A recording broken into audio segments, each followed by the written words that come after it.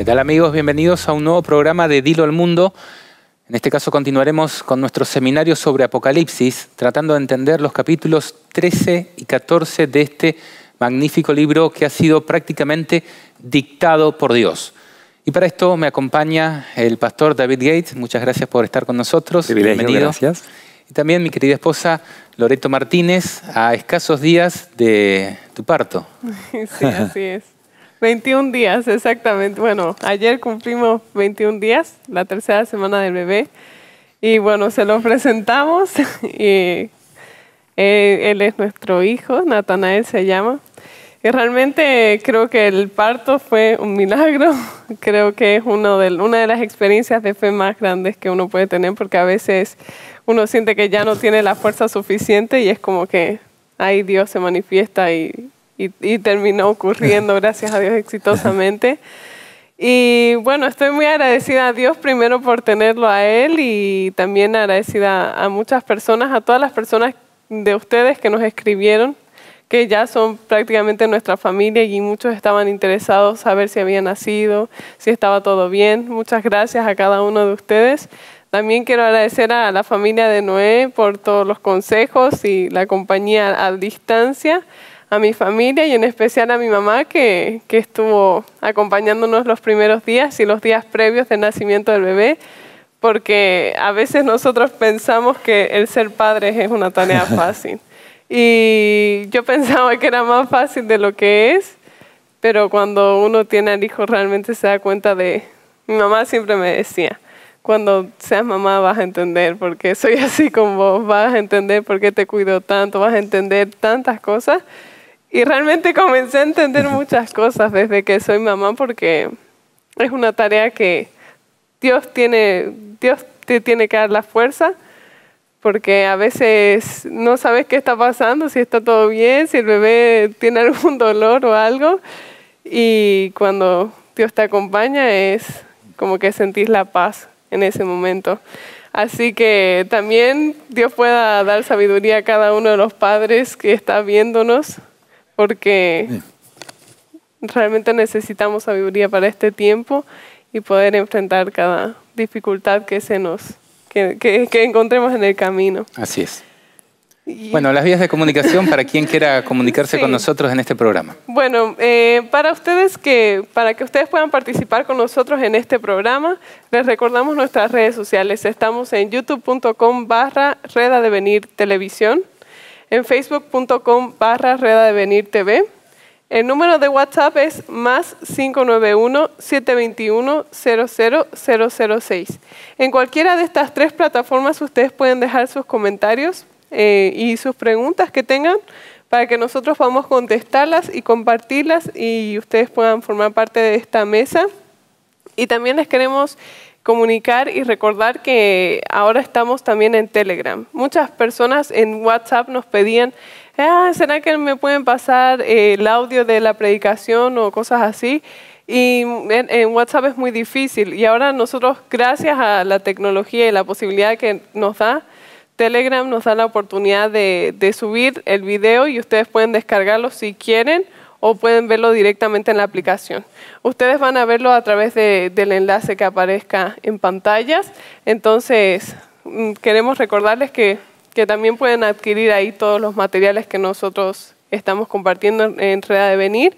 Y está dividido en categorías, así que Está todo, todo a la mano. Sí. Y, Pastor, no sé si usted ha notado también la intensidad en el control y en la censura de contenidos de, los grandes, eh, de las grandes empresas de medios como Google, como YouTube, como Facebook, como WhatsApp, Twitter. Están bloqueando contenidos, por eso estamos tratando de estar en casi todas las plataformas disponibles para si en algún momento nos bloquean en un lado, poder estar en otro. Así que la invitación también a que nos encuentren en Telegram, ¿no? Sí, lo he notado y hace tiempo porque este, estamos viendo eso y no falta mucho de que todos se den cuenta de que aún lo, lo, que, es, lo que es, nuestro no va a funcionar. Así que, ah, bueno, ya sabemos, vivimos en un mundo donde, donde no hay libertades muchas veces en algunos casos y que monopolios existen que controlan información, lo que el público puede ver, escuchar. Ah, hay, que, hay que trabajar con todo lo que se pueda sabiendo que va a ser más difícil y más restringido en el futuro. Eh, parece mentira, pero cada vez que eh, la sociedad, por un lado, va en cierta medida avanzando, evolucionando hacia la amplitud mental, en algunos sentidos, ¿no? Que favorables desfavorables por otros lados, ¿no? Pero al mismo tiempo ahora eh, se empieza a acusar de desinformación muchas veces y se te bloquea o se te acusa hasta con penas de multas y cárceles por no alinearte a un discurso oficial. ¿No? Entonces, eh, para resguardarnos de muchas veces estamos tratando de mm, prever medidas alternativas para poder continuar eh, disponibles para todo aquel que lo desee. Sabemos, sabemos que hay un mensaje muy especial para el mundo, cómo prepararnos, uh, cómo prepararnos para la venida de Cristo y, y es, en ese mensaje que tenemos que presentar, uh, muchos, muchos poderes mundiales van a hacer todo lo posible, el, el enemigo de almas eh, va a buscar cómo controlar los medios, pero gracias a Dios, no es que Dios en, en, Apocalipsis 18 no hemos llegado ahí todavía, pero hay la, la promesa de que este mensaje va a cubrir toda la tierra como una, con una luz, va a alumbrar ese, con poderosamente ese mensaje y Dios se encarga, no son los hombres, es Dios que se encargará de que ese mensaje llegue a cada ser, cada persona que tenga una opción de evaluar y elegir y decidir por la vida o la muerte. Así es, y en el tema que tenemos hoy algo vamos a ver. Apocalipsis 13, Apocalipsis 14 también tenemos ese mensaje a todo el mundo. Bueno, como ustedes sabrán, nosotros hemos venido avanzando. Hace unas semanas atrás compartimos un tema sobre Apocalipsis 12, donde presentamos nuestro entendimiento y presentamos la hipótesis de la continuidad temporal a lo largo del desarrollo de, de este capítulo, el capítulo 12 de Apocalipsis. Comienza con la disputa en el cielo entre Dios y su iglesia y el dragón y va avanzando rápidamente hacia los días finales. Bueno, ustedes tienen ese estudio en eh, el video titulado Siete batallas, la llave del Apocalipsis.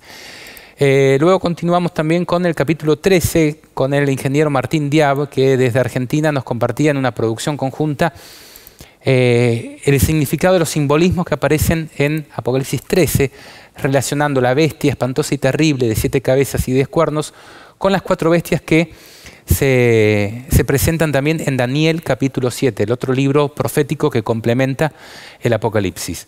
Hoy vamos a tratar de entender aquellas cosas que quedaron afuera de este video, como la participación de eh, los Estados Unidos en el gran conflicto final, en lo que es la imagen de la bestia, y también eh, tratar de entender algún aspecto relacionado con los plazos proféticos que están en, este libro de Apocalipsis en su capítulo 13.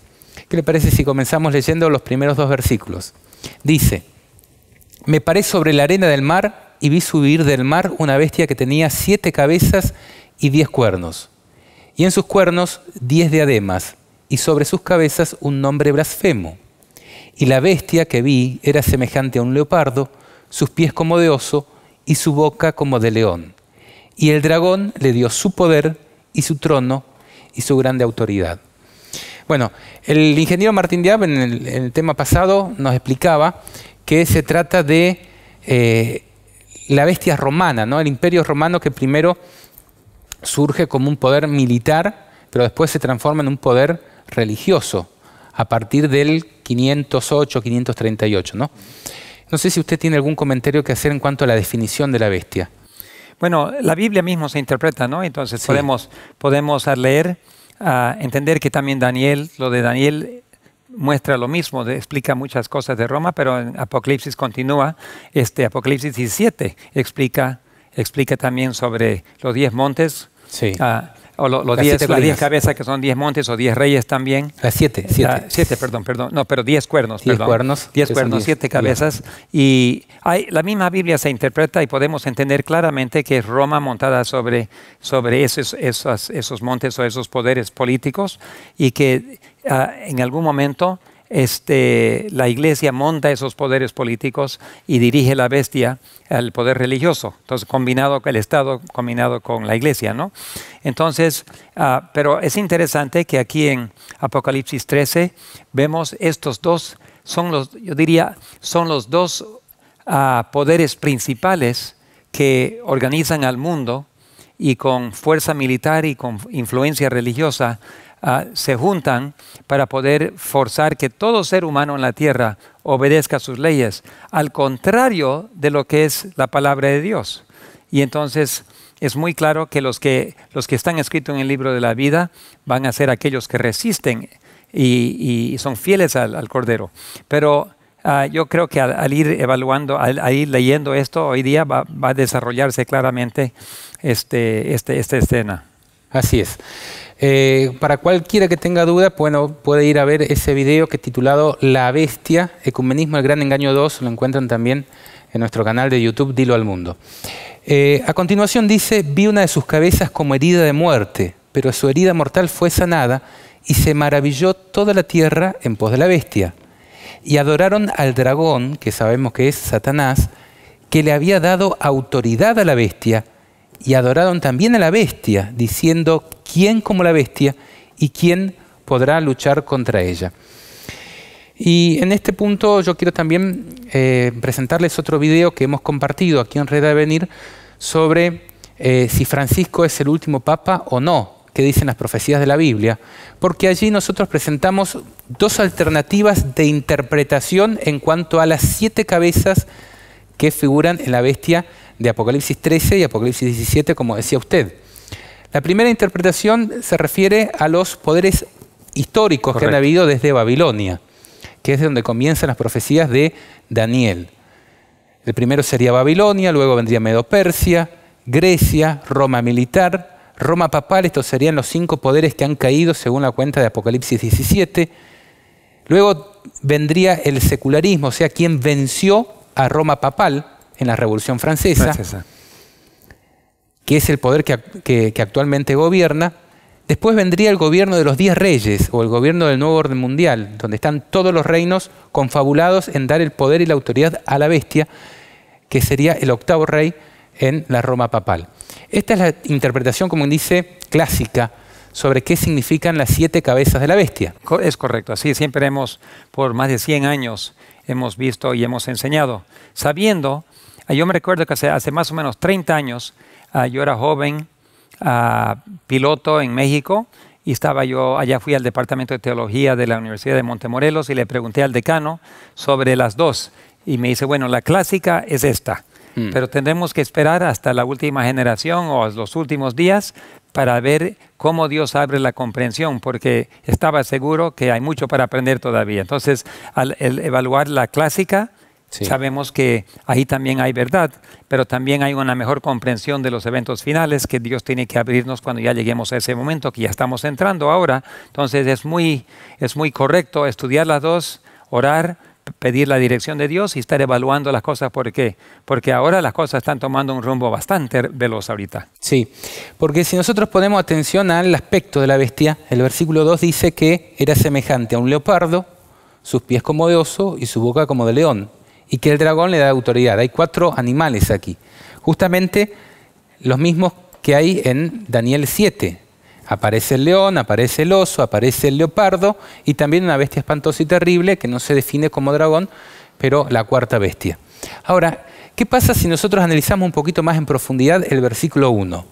Ahí dice que ve subir del mar una bestia que tenía siete cabezas y diez cuernos.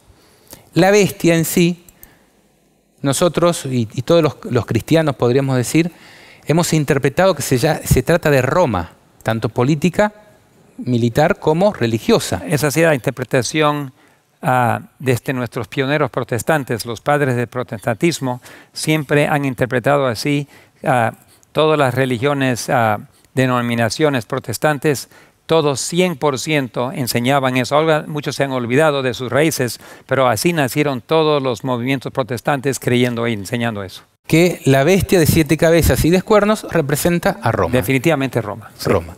Entonces, nos preguntamos, ¿cómo de una bestia que representa a Roma, sus cabezas puedan representar otros imperios? Cuando, por ejemplo, en la profecía de Daniel 7, la bestia, que es semejante a un leopardo, con cuatro alas y cuatro cabezas, el mismo tipo de símbolo, un animal con varias cabezas, las cuatro cabezas son gobernantes de, ese imperio. Casandro, Lisímaco, Seleuco y Ptolomeo, que fueron quienes se dividieron el poder de Grecia cuando murió Alejandro Magno. Entonces, ¿por qué en este caso las cabezas de la bestia no representan gobernantes de la bestia? Como si representan en eh, Daniel 7. Estamos aplicando un criterio de interpretación diferente. En el caso del leopardo de, cuatro cabezas, con respecto a esta otra bestia, que también se parece a un leopardo, pero también tiene mezcla de otras bestias, que tiene siete cabezas. Entonces, si quisiéramos seguir el mismo principio de interpretación, deberían ser las cabezas de la bestia gobernantes de esa bestia, porque justamente la cabeza gobierna al cuerpo. Ahora, ¿qué pasa si seguimos viendo las, las dos diferentes características que nos dice a continuación? Dice, en sus cuernos, diez diademas. Y sabemos que los cuernos representan poderes menores que surgen de la bestia. Eran otros reyes menores. En el caso de las bestias de Apocalipsis de, Daniel 7, era eh, la división del imperio romano. Los reyes que surgen ahí. Y acá dice que tiene diademas o corona los cuernos. Quiere decir que el poder real lo están teniendo la bestia o los cuernos. No, la, bestia controla. La bestia controla los cuernos, pero si nosotros comparamos, por ejemplo, con eh, Apocalipsis 12, donde también aparece la bestia de siete cabezas y diez cuernos, vamos a ver que ahí en el versículo 3 dice, y en sus cabezas siete diademas o coronas. Quiere decir que en Apocalipsis 12 el poder real estaba en los gobernantes de ah. la bestia, no en los cuernos europeos. ¿Se entiende? En cambio, en Apocalipsis 13 vamos a ver que justamente en un periodo donde viene la herida mortal, una de sus cabezas como herida de muerte, Apocalipsis 13 trata de un periodo de tiempo donde la bestia fue herida de muerte y se está recuperando. Es indeterminado. No, no informa cuánto tiempo va a ser. Claro, pero sí nos informa que las coronas, es decir, el poder, no está en las cabezas de la bestia, sino está en los poderes políticos. Correcto. Que representan los cuernos. O sea, los poderes políticos dan su autoridad para apoyar a la bestia. Claro, entonces eh, resulta difícil irse a Babilonia cuando el presente de la profecía está en los, en los mm, poderes que salieron de, de, de, Roma. ¿no? Ahora, el siguiente, el siguiente, mm, la siguiente característica dice, sobre sus cabezas un nombre blasfemo. Y ahí es donde empieza como que dice a ser más cosquilla todavía, porque esta es una característica propia y exclusiva del cuerno pequeño. No se dice en las profecías de Daniel que el león alado, ni el oso, ni el leopardo de cuatro cabezas tenga una boca que hable grandes cosas y blasfemias. Espirituales, o sea, son un poder espiritual. Claro, ni que tenga títulos blasfemos. Y acá está diciendo que las cabezas de esta bestia, que son siete, tienen títulos blasfemos. ¿Quiénes tienen títulos blasfemos en Roma? Solamente hay uno. Hay uno. Sí. La cabeza de Roma. La cabeza de Roma. La cabeza de la bestia. Que dice que es Dios. Que es unipersonal. Que es, un gobierno unipersonal. Y que, y que tiene el nombre de santo. Santo Padre, Sumo Padre, en alusión a Dios Padre. Santísimo se llama también. Sumo Puente o Sumo Intercesor. El vicario de Cristo, tratando de ocupar tanto el lugar de Jesús como el único puente entre Dios y los hombres, como el lugar del Espíritu Santo como representante de Jesús en la tierra. Esos son los títulos blasfemos y dice que están sobre las cabezas de la bestia. Entonces las cabezas de la bestia son imperios mundiales o son gobernantes de Roma. Buena pregunta. Hay mucha argumentación aquí que no podemos dejar pasar por alto. Si, lo ponemos como poderes de la tierra, entonces tenemos un problema cómo unir la parte espiritual con eso. Y si lo aplicamos a, a Roma, entonces todos los gobernantes de Roma tienen esa característica de decir que son poderes políticos, pero también son poderes religiosos y llevan el título blasfemo, que es el título de Dios. Ojo, yo no estoy queriendo, como dice, negar la interpretación anterior, pero quiero llamar la atención de que muchas veces Dios tiene una tridimensionalidad o una multidimensionalidad en las cosas como las explica. Su palabra es viva y eficaz, dice la, la Santa Escritura, y es presente todo el tiempo. Entonces, en algún periodo pueden haber llamado la atención hacia reinos históricos, pero ahora en este presente pongamos atención que si queremos aplicar los mismos sistemas de interpretación que para Daniel 7 con el leopardo de cuatro cabezas, nos conduce a que esta bestia tiene siete cabezas con siete gobernantes que son sus papas, en un momento posterior a su herida de muerte, porque dice... En contexto. Claro, dice, vi una de sus cabezas como herida de muerte, pero su herida mortal fue, sanada. A partir de aquí, ¿estaremos en el pasado o en el futuro de esta herida? Claramente en el futuro, porque la herida está en proceso de sanarse en este momento. Acá directamente dice fue sanada. Sí. Y vamos a ver que en todo Apocalipsis 13, como tres veces, va a decir de que la herida está sanada. ¿Cuándo empezó a sanar esa herida mortal? Sabemos que la herida mortal la infringe Napoleón. Napoleón, 1798. Cuando capturó al Papa y lo llevó preso. Bien, y a partir de ahí precipita la pérdida de poder del papado y la, toma de sus tierras, la toma de sus bienes. Sí, perdió el poder político y a partir de ese momento ah, no murió, solamente que ya no tenía ese poder y eh, la herida fue mortal. Pero aquí muestra que se sana y que todo, mira lo que dice después que termina de sanarse, dice, inmediatamente, y dice, y se maravilló toda la tierra y, ah, y se maravilló toda la tierra en pos de la bestia. Entonces apenas se sana y toda la tierra se queda admirada y empieza a seguir a la bestia. La maravilla del mundo en torno a la bestia es posterior a la curación de la herida mortal. Entonces vamos a ver que todo lo que viene a continuación se trata de un periodo posterior a la sanación de esa herida. ¿Cuándo comienza a sanar? Preguntábamos recién. Bueno, acá tengo un artículo de Wikipedia que eh, trata sobre los pactos de Letrán. Dice, los pactos de Letrán o pactos fueron una serie de acuerdos familiares activos firmados el 11 de febrero de 1929 por el cardenal Pietro Gaspari en nombre del Papa Pío XI y por el primer ministro de Italia, Benito Mussolini, en nombre del rey Víctor Manuel III. Supusieron la independencia política de la Santa Sede del Reino de Italia como Estado soberano, así como el restablecimiento pleno de las relaciones entre los representantes de Italia y la Iglesia Católica rotas desde 1870. O sea, aquí es donde, a través de estos pactos que firma Benito Mussolini y Pío XI, con sus representantes, comienza el proceso de sanación. Apocalipsis 13 dice, vi una de sus cabezas con herida de muerte, pero su herida de muerte fue sanada. ¿Qué pasa si nosotros contamos los papas que a partir de ese entonces, ya además de ser obispos de Roma, empiezan a ser reyes de ese Estado soberano? Porque esa es la segunda forma de ver. Hmm. En la primera era todos los reinos en el pasado y ahora estamos viendo la aplicación, como mencionaste, de nombres blasfemos aplicados a los gobernantes desde ese momento que recupera. Sí. Sí. Entonces, a partir de ese momento, curiosamente, han venido Pío XI, que fue el que estaba como papa cuando se firmó los pactos de Letrán, Pío XII, Juan XXIII, Pablo VI y Juan Pablo I, esos vendrían a ser los cinco que habían caído en el momento de, del presente de esa profecía. Luego vino Juan Pablo II, que fue un papa que directamente catapultó la imagen del papado en todo el mundo, en la geopolítica mundial, cambió la historia de la iglesia, Juan Pablo II. Después vino Benedicto XVI, que fue un papa que duró un tiempo abreviado.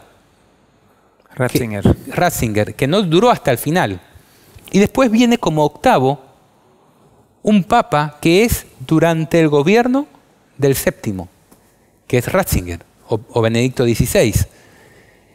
Esto vendrían a ser los cinco que han caído, el que era en el presente de la profecía, el que duraría breve tiempo, y el octavo, que es el Papa, donde resurge la bestia en todo su esplendor, para comenzar la etapa de persecución nuevamente, eh, así como había sucedido en la Edad Media, ¿no? hasta mil 798. Eh, las dos interpretaciones están puestas para que ustedes las estudien. No queremos establecer ninguna de manera dogmática, pero hay que considerarlo. No podemos dejarlo pasar por alto habiendo tantas argumentaciones válidas en cuanto a principios de interpretación Pero profética. no, hay, hay algunas personas que rehusan estudiar más. O sea, ya aprendieron hace 150 años lo que ya aprendieron y de ahí no se mueven. Sí, Eh, co- como todas las iglesias protestantes. Entonces, este, hace un poquito más de 500 años na- nace, nace este, el, el movimiento luterano y de allí, cuando ya se, se creó la iglesia luterana, de ahí no se mueven. Entonces Dios tenía que traer a otras denominaciones para revelar nuevas verdades. Pero los, los luteranos se quedaron ahí. Se murió su jefe, su fundador, no se mueven de ahí.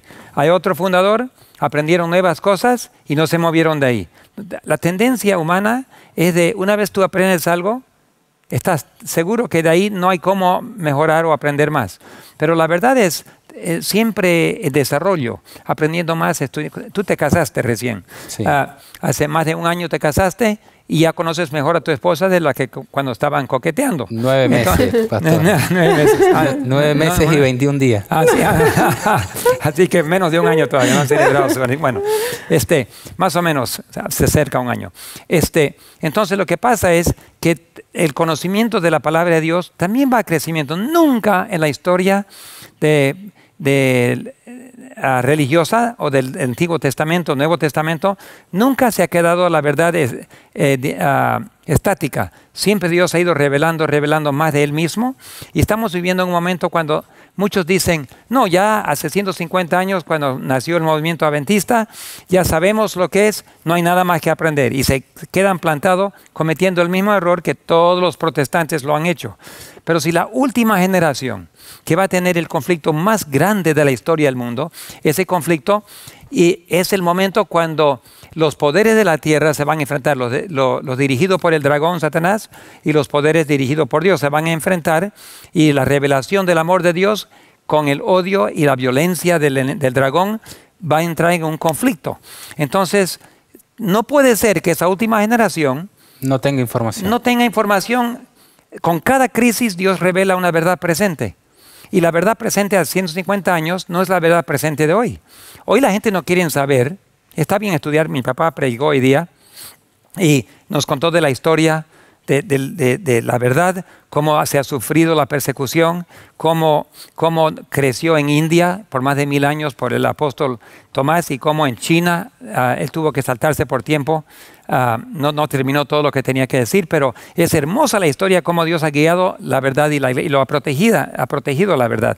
Ahora estamos llegando a la última generación y la verdad de 150 años atrás no es que ya no es verdad, pero verdad presente. La gente quiere saber cómo me afecta a mí y cómo me debo preparar para la crisis final. Entonces, queridos hermanos y hermanas, los que amamos la verdad tenemos que estar abiertos a que Dios nos revele mayor, mayores comprensiones de la misma verdad que hemos sabido, pero ahora la otra cara nos muestra un poquito más. El carácter de Dios no ha sido revelado en el pueblo de Dios como lo va a ser revelado ahora. Y la verdad de Dios también no ha sido revelado como lo va a ser revelado ahora. Así que tenemos que estar abiertos. Pero hay, hay muchos que critican inmediatamente que tocas tú el tema. Hay, escriben, no, no es así. Ya sabemos que no. Perdona, yo no concuerdo. La verdad anterior sigue siendo verdad. Tenemos que estar abiertos. Pero va a haber una mayor comprensión de las verdades. No es que Dios haya dejado sin información a toda la generación anterior, Pero a nosotros no. pero la característica que tiene la palabra de Dios es que no es una letra muerta. Sí. Dice que es una palabra viva. Entonces, justamente en el tiempo cuando el conflicto haya llegado a su límite máximo, al clímax del conflicto, ¿cómo puede ser de que los que vivan en ese momento no tengan ninguna información en cuanto al tiempo Imposible, profético? Imposible. Cuando Jesús conocía exactamente el día que estaba viviendo. Decía, no ha llegado mi hora, sí ha llegado mi hora. Bueno, los redimidos de la última generación van a pasar por las mismas pisadas de Jesús. ¿Cómo, cómo puede ser de que no tengan ninguna información al respecto, por ejemplo, de los plazos de la abominación desoladora? Algo que está clarísimo en la Biblia. Bueno, vamos a ir avanzando un Ya. poquito más. Eh, Apocalipsis 13, la bestia de siete cabezas y diez cuernos, tiene su paralelo con Apocalipsis 17. En el versículo 8 nosotros recién comentábamos, la bestia que has visto era en el periodo de la Edad Media, no es el periodo que estamos transitando desde 1798 y está para subir del abismo e ir a perdición. O sea, la bestia que está para subir del abismo, ¿quién es? La bestia de siete cabezas y diez cuernos. Dice, y los moradores de la tierra, aquellos cuyos nombres no están escritos en el libro desde la fundación del mundo, en el libro de la vida, se asombrarán viendo la bestia que era, no es y será. Lo mismo que dice acá, que usted leía, que se maravillarán. Y dice, esto es para mente que tenga sabiduría. Las siete cabezas son siete montes, las siete colinas de Roma, y son siete reyes. La Biblia es clara. Si lo quieren tomar como reyes o como reinados, de hecho, cada papa tiene su reinado. Establece que las cabezas de la bestia son reyes en un momento que está para subir del abismo. Pero que, no ¿Cuántos reyes han habido en el Vaticano? Bueno, ahorita lo vamos a contar, pero no creo que se divida, la mujer está montado y tiene sobre, son siete montes y no hay discusión que son los siete montes. el Vaticano es considerado la ciudad sobre siete montes. ¿Cuándo se lo, se lo dieron y se lo reaseguraron eso? No me recuerdo. 1929. Ah, Cuando Benito Mussolini se lo devuelve. Pero, pero de, las siete, de, los siete montes, no. Estás hablando de la autoridad. Ahí le da el Estado del Vaticano sí, como Estado pero soberano. hablando de se llama la ciudad de, los siete montes. Sí. Entonces, no, sabía, pensé que me estabas preguntando sobre eso. Ah, entonces, si, si, los siete montes son claramente el Vaticano, entonces, ¿cómo se aplica eso al pasado? ¿Cuáles son los siete montes en el pasado? No, eso se aplica en forma literal, ahora es el Vaticano, la ciudad de los siete montes.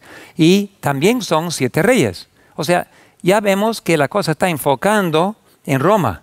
Y Apocalipsis 17 es un capítulo impresionantemente claro y descriptivo del Vaticano. y con claramente las vestiduras que, que utilizan. Los reyes que dan su poder. El cáliz de oro que utiliza. Es clarísimo, es todo apunta Y que no han recibido poder todavía, esos diez reyes y van a recibir poder después. Así que es, el capítulo 17 claramente nos lleva al futuro.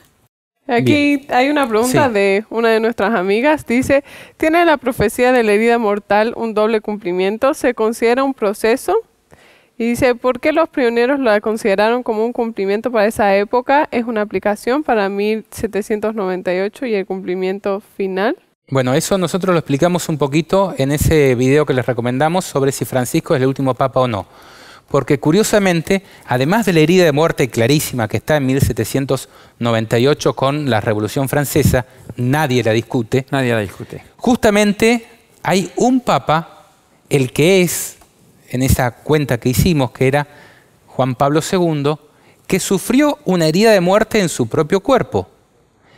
Y al curar de ella, toda la tierra se maravilló en pos de la bestia. Estamos viendo algunas escenas de cuando el 13 de mayo de 1981, Juan Pablo II, el sexto Papa Rey del Estado del Vaticano, sufrió una herida de muerte al recibir un disparo del turco Mehmet Ali. Sí, era impresionante. Así como las Torres Gemelas fue un punto de inflexión en la historia de la humanidad en cuanto al antes y después, esta herida de muerte en esta cabeza de la bestia, dice porque una de sus cabezas fue herida de muerte, uno de sus gobernantes fue herido de muerte, también fue un antes y después en la historia de la iglesia. Es como el shock que suelen utilizar estos poderes, como estamos viviendo ahora también nosotros en un momento de shock, para empezar a implementar muchos cambios a futuro. Justamente es el momento donde sería llevado Juan en la visión profética, al presente de cuando la herida de muerte es recibida y es curada en la época de Juan Pablo II. Y de hecho, eh, Juan Pablo II cuando vino a Bolivia la primera vez, que fue, si no me equivoco, en 1988 o algo así, en, un, año así, eh, en, en su predicación, por así decirlo, en su presentación. En su presentación, en sus palabras, en su discurso, una de las primeras cosas que dice es que viene a, a, presentar como que el nuevo lineamiento que va a tomar la iglesia. O sea, realmente él mismo también reconocía que era un antes y un después de la iglesia. Y todo el mundo que, que habla sobre Juan Pablo II eh, en el mundo católico es como que se da cuenta de que realmente es un cambio. Es como que antes la iglesia católica estaba relegada en cierta medida y Juan Pablo II vuelve a, a ponerla en el... Cambian los paradigmas, sí. aunque sigue siendo la misma iglesia, eh, cambia la, la forma La en que se la presenta, sí, ¿no? Como una la- iglesia más abierta, más moderada, más ecuménica, más un montón de cosas. ¿no? Así es, sí. Eso. Bien, continuamos, pastor, con... Me había hecho la pregunta Sí. cuántos, cuántos papas de este el acuerdo, en Sí. 29. Este, estamos en el octavo. eh, ¿Cuántos reyes? ¿Cuánto- De esos reyes, perdón. Claro, porque reyes en el Vaticano solo han habido ocho.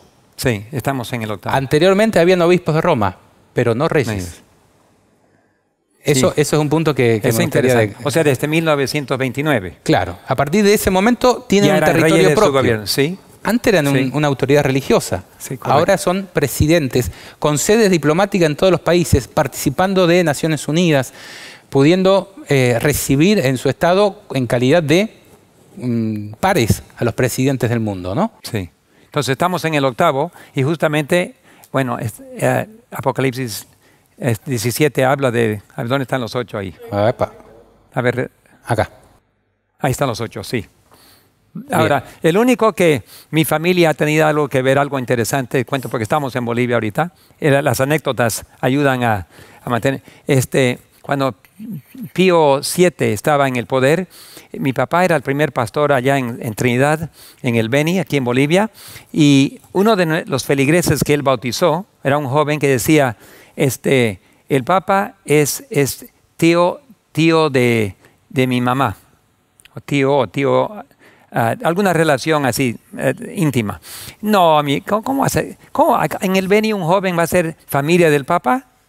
Pero después, y él, le mandaba a Roma todos los libros, mandaba el Espíritu de Profecía, mandaba a su, a su tío. Y, y mi padre decía, no va a llegar nunca eso. Pero descubrimos después, por otro evangelista que estaba en Nueva York, que una hermana en Nueva York se bautizó y era, era, era familia muy íntima de, de- de Pío, el 7, o 12, perdón. Yo sé. 12. Entonces, este, entonces ahí descubrimos que eh, este Jorge que teníamos allá en Trinidad era familia de esa misma señora que era italiana, que era familia del Papa. Y, y le había mandado todos estos libros. Y después yo, por puro coincidencia, estaba yo en Michigan haciendo mi chequeo de piloto que yo hacía cada dos años con la Asociación General. Yo estaba allá y me quedé con eh, uno de los instructores de vuelo en su casa y tenía un libro ahí de- del, médico de, de- de Pío el, el 12 cuando, se- cuando murió. Total, este, él cuenta la historia. Lo excomulgaron. Pero no era porque no, no lo excomulgaron porque había renunciado a la fe. No era hereje, no era nada. El problema era que Pío el, el 12 le confesó algo y ellos no querían que tenga credibilidad, así lo excomulgaron. Él estaba, allí moribundo, rodeado por cardenales, estaba allí, el, médico ah, personal del Papa estaba a su lado ahí, y los, ah, cardenales salieron del cuarto un ratito para consultar algo. Inmediatamente el Papa abrió sus ojos, vio que no había nadie, ¡pum! Le dijo al, le dijo al médico, ven, ven, ven.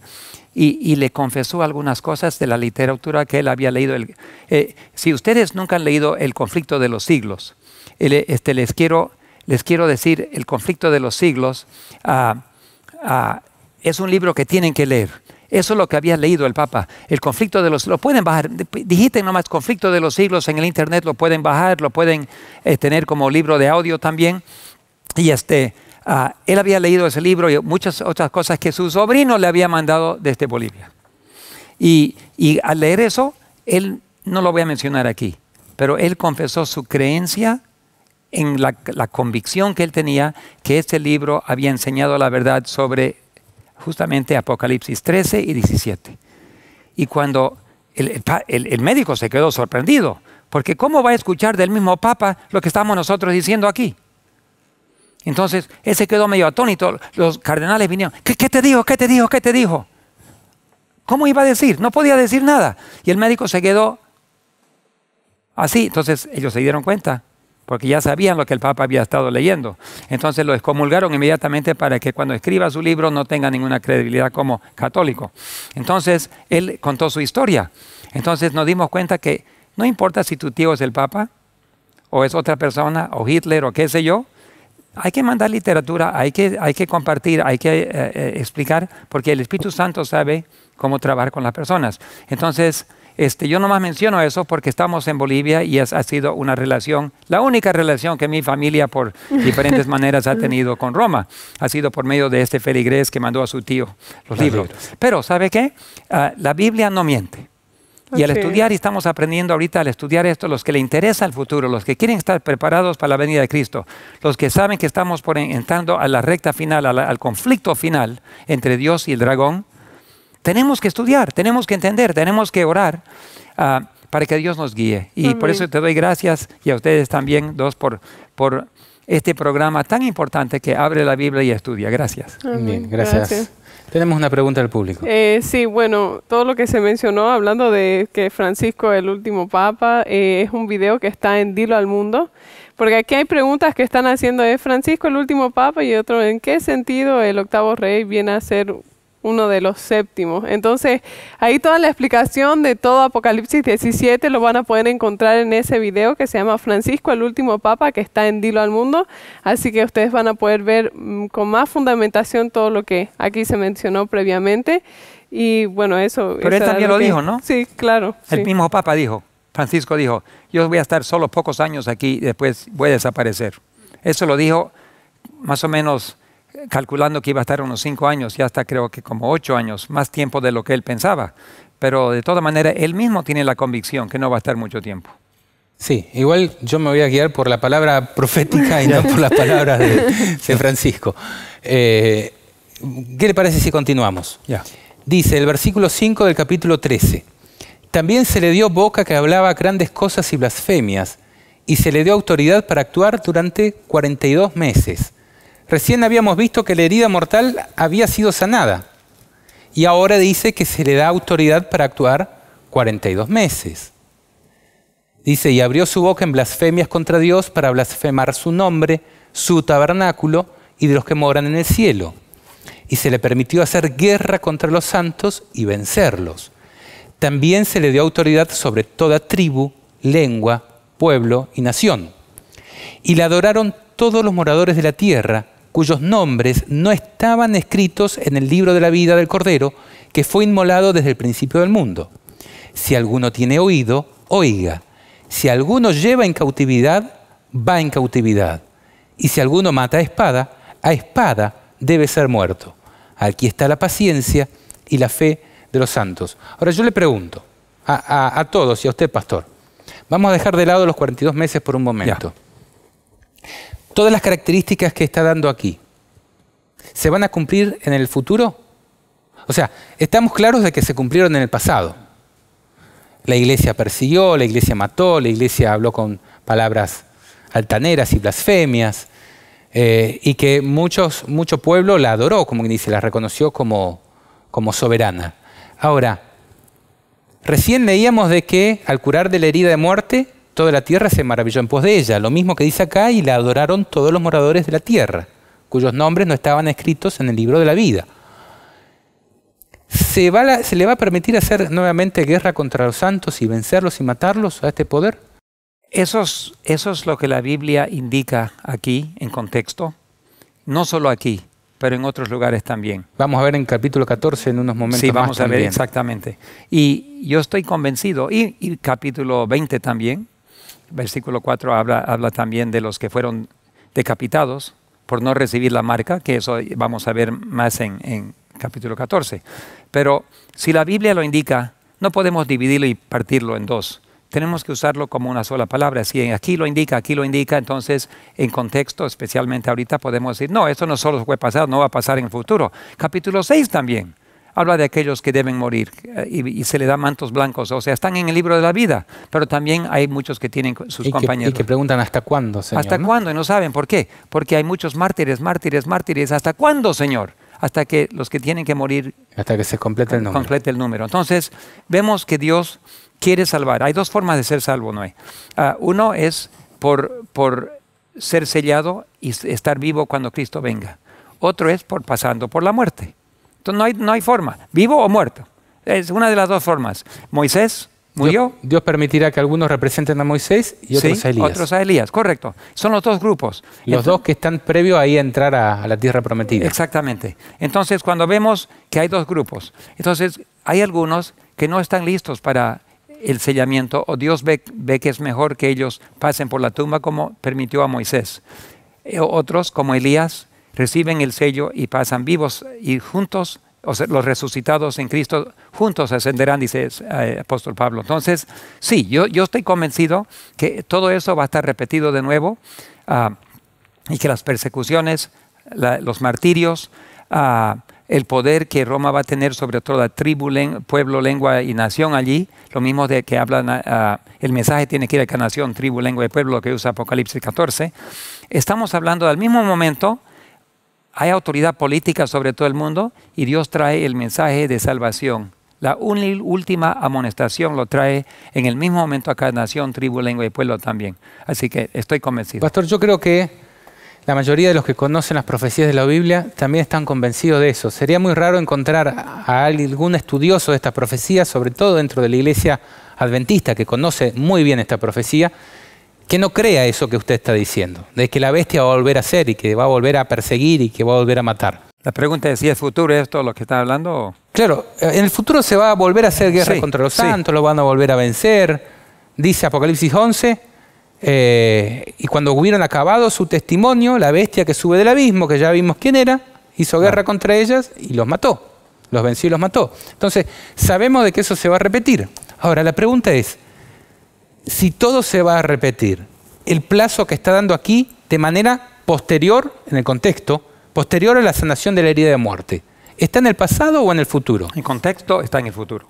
En contexto. En el contexto está en el futuro, nos tenemos que ir del contexto del- de Mira, la escritura. Uno de los principios bíblicos de interpretación es que se interpreta todo literalmente, a menos que sea claramente un símbolo. Cualquier niño que lee esto te va a decir el orden de las cosas. No tienes que tener un doctorado en teología para entenderlo. Ni haber hecho un doctorado en la No. iglesia católica o protestante. No. Cualquier niño, no, sabemos que un hombre maduro entie- entiende mejor que un niño, pero digo, cualquier niño que lea eso, en contexto va a entenderlo que es literal. Nosotros somos los que agarramos y cortamos aquí, cortamos allá y ponemos eso en el pasado, en el futuro. Eso son- es trabajo de los teólogos. Sí. Pero el trabajo de- del Espíritu Santo es cualquier persona que ora y pide dirección de Dios, el Espíritu Santo lo guía y lo va a enseñar la verdad. Y eh, la verdad es sencilla, no es difícil para entender. Algunas cosas no se entienden hasta que el Espíritu Santo dice, llegó su hora. Ahora, el, el hecho de negar que esto esté en el futuro, habiendo tanta evidencia, por ejemplo, en Daniel 12 también, que lo vuelve a presentar en el futuro, es no entender el símbolo que hay detrás del periodo de tres tiempos y medio. A lo largo de toda la Biblia, los tres tiempos y medio es un tiempo de prueba y que Dios permite persecución. Pasó con Elías, tres tiempos y medio, pasó con Jesús, pasó con los discípulos, pasó con la iglesia a lo largo de los 1260 años en la historia de la, de la iglesia después de eh, la iglesia apostólica, podríamos decir. ¿No va a pasar con los 144.000? ¿No se les va a permitir un periodo de prueba a esta gente? Bueno, esto es lo que está señalando la profecía. ¿Que es el mismo plazo que el anterior? Sí, es el mismo plazo, pero tienen dos cumplimientos, Espera, espera aquí un segundito. anteriormente y después. Los oponentes de esta interpretación no, no dan una solución al problema. Se oponen. De, de- Y tienen que salir del Apocalipsis, tienen que salir de la Biblia entera para dar una explicación a esto. Exactamente. Pero no, no, no dan solución al problema. ¿Por qué? Si tú le preguntas, ¿cómo entiendo el futuro? ¿Qué va a pasar en el futuro? ¿Cómo me preparo para el futuro? No te pueden dar explicación. Dicen, no sé, esa información no lo tenemos. Pero la gente quiere saber, ¿cómo me preparo? No, no tenemos información. Solamente sabemos lo que nos enseñaron hace 150 años. No, Dios quiere que esta generación esté preparada, especialmente el pueblo remanente, especialmente el pueblo remanente, porque tienen un trabajo que hacer. Tienen que llevar el mensaje a toda la tierra, tienen que recibir el- la lluvia tardía y el sellamiento. Entonces, Pastor, Daniel preguntaba, ¿hasta cuándo, Señor? y se les puede contestar. El ángel preguntaba a Miguel, ¿hasta cuándo, Señor? Los mártires que están en el capítulo 6 preguntan, ¿hasta cuándo, Señor? Pero nosotros decimos, No no, se puede preguntemos hasta cuándo. Sí. No hay información. Pero no estamos diciendo la fecha de la venida de Cristo, estamos diciendo de la No. abominación desoladora y los plazos de prueba y persecución. Ahora, el que, no el hay que- información. El que no se pregunta, el que no escudriña, el que no le interesa saber, solamente se opone, no va a estar preparado. ¿Por qué? Puede ser que Dios lo salve, ¿ah? Eh, puede ser, pero no va a estar preparado para la crisis final. Muéstrame un atleta, no hay, Loreto, un atleta que va a las Olimpiadas sin prepararse. Y estamos entrando a las, a las Olimpiadas espirituales y no me voy a preparar. No, no hay nada que saber. Hay que simplemente esperar. Algún día vamos a ver que venga Jesucristo. Y algunos, aún peor todavía, dicen que vamos a seguir pecando hasta que venga Cristo. Eso es una herejía que yo no puedo, no puedo entender que tan claramente la Biblia dice que tenemos que reflejar. Bueno, eso lo vamos a ver un poquito en Apocalipsis 14 ahora. Yo sé, pero, pero justamente todo lo cuadra, ¿no? Sí. Entonces, sí. Justamente lo que estamos diciendo en las palabras de Jesús dice, en Mateo 11, 25 podemos leer esto, dice, en aquel tiempo hablando Jesús dijo, te alabo Padre, Señor del cielo y de la tierra, porque ocu- ocultaste estas cosas a sabios e inteligentes y las revelaste a los niños. O sea, realmente... ¿Quién está orando ahí? Ese es Jesús mismo. Son las Jesús palabras mismo de está Jesús. diciendo que no son los sabios y los doctores de la ley que nos van a interpretar y hacer conocer esto. No es que no hay ninguno, no. Estamos diciendo que no es a los a- a eruditos, Sí, es a los sencillos que van a poder entender. así es. sí. Entonces, entonces yo no, yo no- yo no No, saco mi no, credencial de erudito para comprobar que yo sé de... No, No quiere decir de que no escuches a Pablo. no. Lo que estamos diciendo es, fíjate los argumentos bíblicos, no los doctorados. Exactamente. Porque el- en el tiempo de Jesús habían muchos doctores de la ley y los rechazaron a Jesús y lo mataron. En el tiempo de Pablo, este también lo mismo.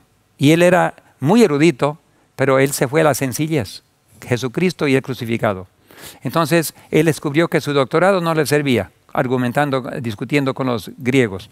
No, se fue a la sen- de aquí para adelante solamente Jesucristo y el crucificado. Entonces, nosotros tenemos que estudiar a Jesucristo y su plan y, Para y- nuestro tiempo. Para nuestro tiempo. En el tiempo de Pablo era Cristo y Cristo crucificado porque esa era la Ahora hora Cristo viene, ¿cómo me preparo? Ahora ¿Y es el juicio de Dios. Sí, lo que, es lo que está haciendo haciendo Jesús. Jesucristo. Correcto. Muy bien. Bueno, yo quería ver un poquito el paralelo de Apocalipsis, lo que hemos acabado de leer, con Daniel 7. El paralelo de eh, la bestia espantosa y terrible de siete cabezas y diez cuernos de Apocalipsis 13, en, en Daniel 7 está representado por el cuerno pequeño que sale de la bestia que representa a Roma. Y ahí dice, mientras yo contemplaba los cuernos, en el versículo 8 del capítulo 7, he aquí otro cuerno pequeño salía de entre ellos, y delante de él fueron arrancados tres de los cuernos primeros, y aquí que este cuerno tenía ojos como ojos de hombre y una boca que hablaba grandes cosas o blasfemias, de acuerdo a la traducción que leamos. Estas son las cosas que estaban en, los- en las cabezas de la bestia, las blasfemias. A continuación, se presenta la escena del juicio de Dios que inicia en el cielo. Estuve mirando hasta que fueron puestos tronos, dice, se sentó el anciano de días y termina diciendo, el juez se sentó y los libros fueron abiertos. Quiere decir de que la visión y la historia se interrumpe el accionar de este cuerno pequeño por el juicio de Dios en el cielo. Sabemos que la herida de muerte la recibe en 1798 y el juicio de Dios inicia en 1844. La profecía va siguiendo en su orden la cronología de los hechos. Ahora, después del juicio, volvemos a ver a este cuerno pequeño, dice, yo entonces miraba a causa del sonido de las grandes palabras que hablaba el cuerno, miraba hasta que mataron a la bestia y su cuerpo fue destrozado y entregado para ser quemado. ¿Acá va a resurgir la bestia? No. Esta no es la herida de muerte. Esta es la herida que la mata. Y acá decía, si alguno lleva en cautividad, va en cautividad. Si alguno mata espada, a espada debe ser muerto. ¿Qué hizo la bestia en el pasado y qué va a hacer en el futuro con sus persecuciones? Dice, su cuerpo fue destrozado y entregado para ser quemado. ¿Qué pasaba en la Santa Inquisición? ¿No destrozaban con tortura los cuerpos y no los quemaban? De la misma manera va a suceder con esta bestia, en la profecía de Daniel En 7. Apocalipsis 17 termina con, con la destrucción. Con esto mismo. Entonces acá A estamos fuego, viendo... a fuego. Sí. En Daniel 7 hay tres momentos. Primero la revelación. Después hay un momento de pregunta de Daniel en relación a la profecía y otro momento de explicación en relación a las preguntas. Esta es la revelación y las dos etapas del cuerno pequeño, antes del juicio y después del juicio. Ahora, en la etapa de la pregunta dice, entonces tuve deseo de saber la verdad acerca de la cuarta bestia que era tan diferente a todas las otras, espantosa en gran manera que tenía dientes de hierro y uñas de bronce, se está refiriendo a Roma, que devoraba y desmenuzaba y las sobras hollaba con sus pies. Asimismo acerca de los diez cuernos que tenía en su cabeza y del otro que había salido, delante del cual habían caído tres. Este mismo cuerno tenía ojos y una boca que hablaba grandes cosas y parecía más grande que sus compañeros. Hoy, este presidente, este rey, ¿no parece más grande que el resto de los, de los presidentes? ¿A quién van a inclinarse todos los presidentes? Dice, y veía yo que este cuerno hacía guerra contra los santos y los vencía. ¿Hasta cuánto? Hasta que vino el anciano de días y se dio el juicio a los santos del Altísimo. Aquí ya no es el mismo momento del juicio anterior. No, esa es, la- es la- el cierre del juicio. Es el cierre del juicio cuando los santos van a revisar en el, en el milenio el juicio de Dios. Entonces, hasta ese momento, ese cuerno pequeño va a hacer guerra contra los santos y los va a vencer. La profecía de Daniel está contemplando los dos momentos. Eso es lo que estoy queriendo Ah, mostrar. entiendo.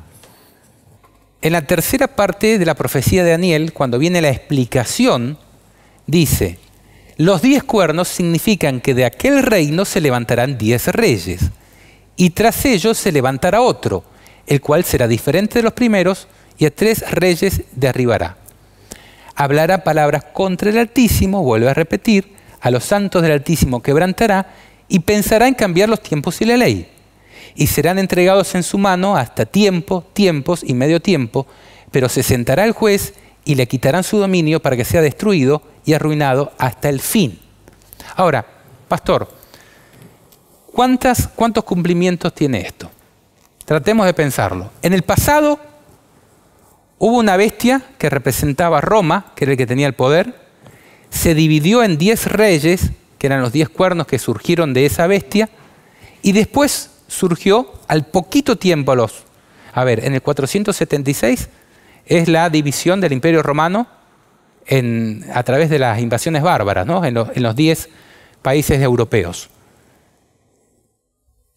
476. En el 508 ya aparece el cuerno pequeño. 32 años después.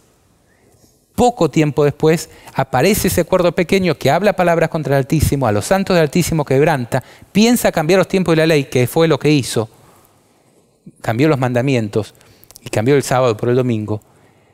Fue entregado el pueblo de Dios en su mano por tiempo, tiempo y la mitad de un tiempo, o sea, 1260 años en la historia, hasta que se sentó el juez y le quitó su dominio. O sea, poquito tiempo antes de 1844 es donde se le quita el dominio.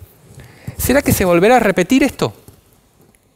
En Apocalipsis 17 decía que iban a haber 10 reyes que aún no han recibido el reino, pero que por poco tiempo recibirán la autoridad juntamente con la bestia y que tienen el propósito de entregar el poder y la autoridad a la bestia, que se lo entregan ahí. Mira, yo me preguntaba muchas veces, ¿por qué Dios ha permitido más de 30 millones de, cristianos y otros fueron martirizados por Roma durante las edades medias? Y no sabemos cuánto van a ser en el futuro. Ah, yo me preguntaba, ¿por qué Dios permitió? Pero como Dios es justo y Dios es amor, algún día nos va a explicar y vamos a descubrir que la sangre de los mártires solo producen más. Como un famoso cristiano ah, de China, el, el hombre celestial, que es el hermano Chun, él dijo, no oren para que se termine la persecución en China, oren para que los cristianos sean fuertes, porque ahorita la iglesia cristiana escondida, invisible, está creciendo co- como loco allá en China ahorita, por la persecución. Entonces Dios, midiendo las cosas, dice, más gente, más personas, más hijos e hijas mías van a estar en el cielo si lo hago en esta forma.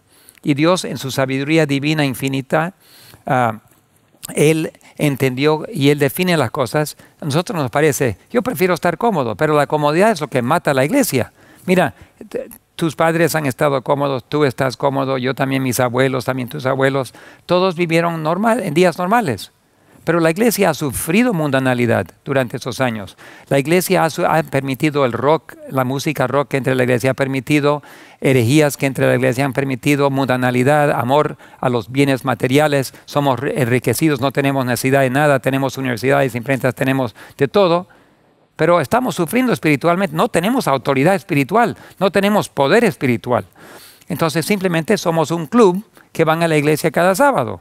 Pero Dios está queriendo producir un ejército, ah, un, ejército ungido que salen a hacer guerra contra el enemigo. Y eso no se puede producir en momentos de, paz. Se producen bajo mucha angustia y dificultad y disciplina. Los soldaditos que lo llevan al cuartel no les dejan ahí leyendo novelas y mirando eh, televisión todo el día. No, es a trabajar y prepararse para el ejército. Entonces Dios también está preparando. Entonces Dios la respuesta es, ¿por qué Dios permite, por qué permite tan, tan, tanto sufrimiento? Es que por medio de eso Él produce un pueblo y ese pueblo con el poder de Dios ah, logra llevar el mensaje a todo el mundo. Entonces, nadie añora la, la dificultad, pero es la única manera que Dios tiene para cosechar al mundo. Y tenemos que confiar que Él sabe lo que hace y podemos decir entonces que gracias a Dios es lo que va a venir. Gracias, podemos y, decir y además en, en, la Odisea, ¿no? Que dice, quiero que compres oro refinado en fuego. O sea, tenemos que pasar por las pruebas, por las dificultades para ser refinados. Aquí una amiga, un amigo desde Perú nos escribió y nos, David Dávila, y nos dice, eh, los diez cuernos y las diez diademas, ¿qué simbolizan? Bien, los diez cuernos, dice Apocalipsis 17, si no me equivoco mal, 8 por ahí, 8 al 10, que significan diez reyes. Diez reyes. O sea, que surgen de un poder anterior. y es justamente lo que quiero explicar ahora. Okay. En el pasado, ¿cómo surgió el Vaticano? El cuerno pequeño. Después de diez cuernos, ¿no? De diez reyes, que surgieron de otro poder anterior. O sea, habían diez reyes que antes no tenían poder, pero por poco tiempo lo recibieron para darle el poder después al cuerno pequeño. Correcto. Apocalipsis 17 también hace referencia a otros 10 cuernos, 10 reyes, que no tienen poder, pero van a recibir el poder para después darle el cuerno darle el poder al cuerno pequeño. y las diademas es lo mismo, poder, las diademas representan, quién tiene el poder. Claro.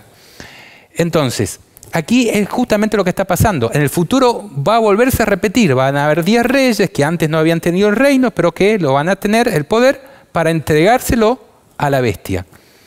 ¿Va a volver a hablar palabras contra el Altísimo? Sin dudas. Sin duda. ¿Va a quebrantar a los santos del Altísimo? Sin dudas. ¿Va a pensar en cambiar los tiempos y la ley de nuevo? Sin dudas. A ver, los adventistas de la ley dominical, ¿no somos conocidos por eso? Del cambio de los diez mandamientos y de la anulación de la ley de Dios en el tiempo del fin, lo mismo va a pasar. Vamos a saltarnos el tiempo. ¿Se va a sentar el juez y le va a quitar su dominio para que sea destruido y arruinado hasta el fin en el futuro? Cuando le entregue el juicio a los santos del Altísimo, también se va a volver a repetir. ¿Será que el tiempo que se han entregado en su mano hasta tiempo, tiempo y la mitad de un tiempo, no se va a repetir? Eh, tenemos, a ver, ¿dónde dice la Biblia de que no? Es que literalmente lo dice que sí. Tenemos que torcer las palabras. La aplicación para, para mí, realmente, mi convicción. Mi convicción es que aplicar un día por un año es una excepción, muchas veces. Es excepción. Y, fue verdadero. Y fue correcto. Pero el, el cumplimiento Los, los tres tiempos y medio siempre se cumplieron literalmente. A excepción, a excepción de los 1260 años. Y entonces, eso fue una excepción. Lo demás era literal. Y ahora, leyéndolo literalmente, es un periodo literal en el futuro, o periodos literales en el futuro. Ya yo llegué a esa convicción, después de años de, de preguntarme, estudiar y todo, llegué a esa convicción. Pero, pero he visto que algunos se cierran los ojos y no, no, no, no, no, no importa. Algunos sí, algunos no, pero Dios va a guiar a su pueblo. Yo estoy convencido que sí. Estoy convencido y estoy, realmente tengo, tengo mucho entusiasmo. ¿De qué? eh, tengo entusiasmo que Dios está abriendo un conocimiento que antes no teníamos para comprender los días que, en el pronto futuro, para que nos preparemos. Si entendemos que estamos entrando a la recta final ahora, el mundo ya está entrando en una, ya está en una crisis ahorita, ya sabemos. Está entrando, va a entrar en crisis peores todavía. Y ni siquiera hemos hablado de los juicios de Dios. Estos no son juicios de Dios, estos son, son cosas... Son ah, artimañas del enemigo. Artimañas del enemigo. Pero, pero cuando ya hablemos de los juicios de Dios que van a caer sobre la tierra, ahí va a entrar un terror sobre las naciones que no existe hasta ahora. Esto lo que tenemos ahora no es nada en comparación de lo que está por venir. Entonces, cuando empiece eso, la gente van a estar buscando soluciones. Pero dice, dice Dios que eso en misericordia hace eso para que la gente levanten la vista y se fijen en lo que Dios está haciendo. Entonces yo, yo veo el futuro, los mejores días de la iglesia están por adelante, pero van a ser días muy difíciles. Sí. Bueno, y con esto queremos decir entonces que nosotros creemos y lo hemos presentado muchas veces en este esquema del tiempo profético, de las 70 semanas en el pasado, desde la salida de la orden para reconstruir Jerusalén, que nos señala la venida de Cristo, de los 2.300 tardes y mañanas o 2.300 años de Daniel 8, 13 y 14, que nos llevan hasta la purificación del santuario en 1844, de los 1.260 días o años donde habría supremacía papal eh, y estaría encadenada la Biblia en las iglesias, creemos que en el año 321 se echó por tierra la verdad cuando Constantino impone la ley dominical, que después en el 538 surge el poder papal por 1260 años a partir de la caída de los ostrogodos, hasta la herida de muerte en la Revolución Francesa. Esto es así, esto es verdad, nosotros los predicamos de continuo. Ahora, no podemos dejar de ver de que también en la Biblia hay mucha información acerca de la abominación desoladora y que a mí no me vengan con cuentos. La abominación desoladora de la que habló Jesús tiene dos aplicaciones principales, la caída de Jerusalén y la ley dominical. Correcto. Una, esta semana escuchaba atrozmente de que querían decir que la abominación desoladora de la que había hablado Daniel y Jesús no era de la ley dominical. Algo atroz, realmente, para venir de un erudito. Pero en la Biblia hay mucha información acerca de una abominación desoladora y de plazos que van a estar relacionados con esa abominación desoladora, que no quiere decir establecer fechas para el retorno de Cristo, porque eso está en la potestad de Dios. Pero hay plazos relacionados con la persecución de la iglesia. En Apocalipsis dice tres tiempos y medio, o 42 meses, que va a tener que sufrir la iglesia del tiempo del fin. Quizá, lo Dios, quizá Dios lo pueda cortar, pero textualmente dice que a partir de la abominación desoladora vienen tres años y medio de persecuciones sobre los elegidos de Dios. Y que todo eso se va a estar desarrollando en medio de los anuncios del juicio divino, que son las trompetas del Apocalipsis. Este... Y hay información clarísima, le hemos presentado, de que las trompetas están en el futuro. Ah. En el pasado, los, los del pasado también pueden haber comprendido lo que les tocaba a ellos y una, una, interpretación, como dice, paralela en el pasado, pero principalmente están en el futuro. Este, nuestros hermanos evangélicos, muchos creen que van en un rapto secreto, que esa enseñanza vino de parte también, partió de enseñanzas católicas también, que salieron contra el, para destruir el protestantismo. Pero muchos piensan, no, esto no me interesa porque yo no voy a estar aquí yo voy a ser raptado y mi carro va a seguir sin chofer, los, aviones van a caer, todo, no, va, no va a haber pasajeros ni pilotos, ¿qué va a pasar? Esa enseñanza no es bíblica. Ahora, ¿qué pasaría si nosotros dejamos de hablar de la segunda venida de Jesús porque los evangélicos que eh, comprenden mal las profecías hablan del rapto secreto? Decimos, no, no, no, eso es una teoría evangélica. A ver, rescatemos la verdad detrás. Sí, no, es que todo tiene que tener base bíblica y esa enseñanza no viene de la Biblia, viene de teorías jesuitas. Pero que, pero que Jesús va a raptar a la iglesia, la va a raptar, pero no en el momento que dicen los evangélicos. Sí, correcto. Entonces, un vecino nuestro que, ah, que nos vendió el terreno en Estados Unidos de nuestra eh, oficina tenemos un campus más pequeño que este, pero también que tiene un estudios y todo, y casas. Este, nos vendió y él publica Biblias y muchas de las Biblias que compramos él los publica.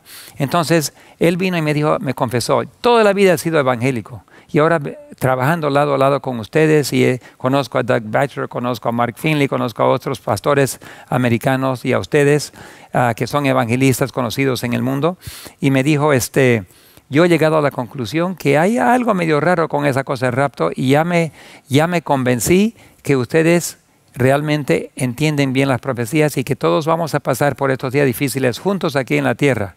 Muchos deben haber así. Sí, muchos, eso es lo que yo sospecho y muchos de los que están viendo hoy en día. ¿Por qué? Porque estamos viviendo crisis ahora y no, no me he ratado todavía y entonces, y soy hijo de Dios y no me llevo todavía. Yo pensé que escaparme de este problema, pero va a ser peor, peor, peor, peor. Ahora, la mejor forma de prepararse para una crisis es prepararse antes que llegue la crisis. Si yo a mi digo, no, no voy a estar aquí, no, no voy a estar, me va Dios me va a raptar, así que no tengo que prepararme.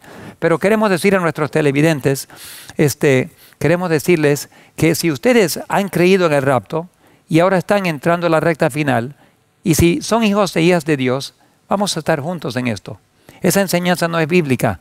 Jesús dijo, eh, los primeros discípulos pasaron por la crisis. Lo que hicieron es, estaban despiertos y cuando Roma la abominación desoladora, cuando Roma pisó Tierra Santa y se retiró, inmediatamente los discípulos salieron de Jerusalén y no murieron y no sufrieron las consecuencias de los otros que no que rechazaron las enseñanzas de Cristo. Entonces nosotros hoy en día lo que tenemos que hacer es leer, estudiar y orar para que Dios no nos saque de aquí, porque no nos va a sacar, simplemente que nos prepare para estar preparados físicamente, espiritualmente, viviendo donde debemos vivir, comiendo lo que debemos comer, alimentándonos espiritualmente de lo que, lo que alimenta la palabra de Dios, para poder qué? Para poder formar parte del fuerte pregón y llevar las buenas nuevas a todo el mundo. Porque cuando llegue Cristo, vamos, ese va a ser el rapto que mencionaste. Cuando todos los resucitados, la primera resurrección, los que están vivos y los que están a los que han resucitado en el libro de la vida, juntos ascenderemos, dice Pablo. Ese es el rapto final, pero no hay un rapto antes. Exactamente, entonces no podemos descartar ni dejar de hablar eh, de algo que es verdadero, por más que otros estén hablando de eso de manera errónea. Exactamente. Entonces, lo mismo pasa con si hay un periodo de siete años en el fin o no. Que alguien hable de eso de manera errónea no quiere decir de que no pueda tener un cumplimiento verdadero a eso apuntaba, ¿no? Correcto. ¿Tenemos eh, la, la, pregunta sería, ¿y por qué es necesario vivir la tribulación? ¿Por qué tenemos que vivir esta la tribulación que dice Jesús que no hubo no hubo ni habrá jamás? Desde que hubo gente hasta entonces, dice. Apocalipsis 7 nos, nos responde un poco cuando Jesús le dijo a, Juan que pasaron por la gran tribulación. ¿Quiénes son estos? dijo Juan. Son aquellos que pasaron por la tribulación y se lavaron sus mantos en la sangre del cordero. Entonces, oro se refina con fuego. Los santos de la última generación van a reflejar el carácter de Dios perfectamente y tienen que ser pasar por el fuego de refinación. Entonces, de refinamiento. Entonces, ¿por qué tienen que pasar? Porque oro no sale así solo. Tiene que pasar por la prueba. Y, si no le preguntamos a cada evangélico hermano que nos está viendo, ¿usted es oro refinado en fuego o necesita que Dios lo purifique? Y también yo quería mencionar de que en Filipenses dice que regocijaos, siempre regocijaos, dice Pablo. en las tribulaciones. En las tribulaciones. Y entonces agradezcan las tribulaciones porque eso produce paciencia. Y siempre que hablamos de la generación final dice, aquí está la paciencia de los santos o bienaventurado el que tenga paciencia y persevera hasta el, que espere y llegue. Entonces, mm. es como que realmente... Que no nos falta paciencia. Así es. Falta refinación, ¿no? Sí. Así que que Dios pueda purificarnos a través de, de las tribulaciones y que nosotros tengamos un espíritu de alegría cuando estemos pasando en, o sea, no de, de, rebosar de contentamiento, pero sí decir, bueno, gracias Señor porque estás transformando mi vida. Me recuerdo cuando ustedes, se casaron y un, un, un, esposo siempre quiere casarse con una novia, con una novia pura, limpia, vestida de blanco y Jesús quiere una novia sin mancha ni arruga y nosotros estamos llenos de manchas y arrugas ahorita ¿Y cómo Dios nos va a preparar como esposa, la iglesia, si, no, si estamos todos viviendo con, conviviendo con el mundo, cometiendo adulterio? O sea, hay personas que, con su teléfono está lleno de películas y videos y fotos inmundas. Y tienen cosas del mundo aquí. Pero ¿cómo va la novia? Imagínate, tú te casas y, y, tu esposa por casarse tiene todos sus novios ahí, está viendo, hablando con ellos. No puede ser. Pero nosotros así en la iglesia somos. Entonces Dios con todo esto está diciendo, una iglesia purificada tiene que pasar por el fuego de la tribulación. Esa es la respuesta. Es la Sí. única forma, no hay otra. Sí. Bueno, hasta aquí, repasando, nosotros hemos visto uno de los grandes poderes, el poder principal, podríamos decir, que va a estar en contra de la iglesia en el tiempo del fin. Una bestia que ha sido herida de muerte, pero su herida mortal ha sido sanada. Eso es lo que ha presentado Apocalipsis 13, versículos 1 al 10. Ahora desde el versículo 11 aparece otra bestia, que es otro poder que va a formar parte de las escenas finales del mundo, en colaboración con la primera bestia que ya ha sido descripta. Entonces podemos ver que Apocalipsis 13 trata de principio a fin acerca de escenas que van a ser presentes en el tiempo del fin. Dice Apocalipsis 13:11, después vi otra bestia que subía de la tierra y tenía dos cuernos semejantes a los de un cordero. No dice que la bestia sea un cordero, dice tenía dos cuernos semejantes a los de un cordero, pero hablaba como dragón y ejerce toda la autoridad de la primera bestia en presencia de ella y hace que la tierra y los moradores de la tierra, o los moradores de ella, adoren a la primera bestia cuya herida mortal estaba por curar. No, fue sanada. Otra vez la presenta la curación de la herida de muerte Y recién eh, acontece. en el pasado.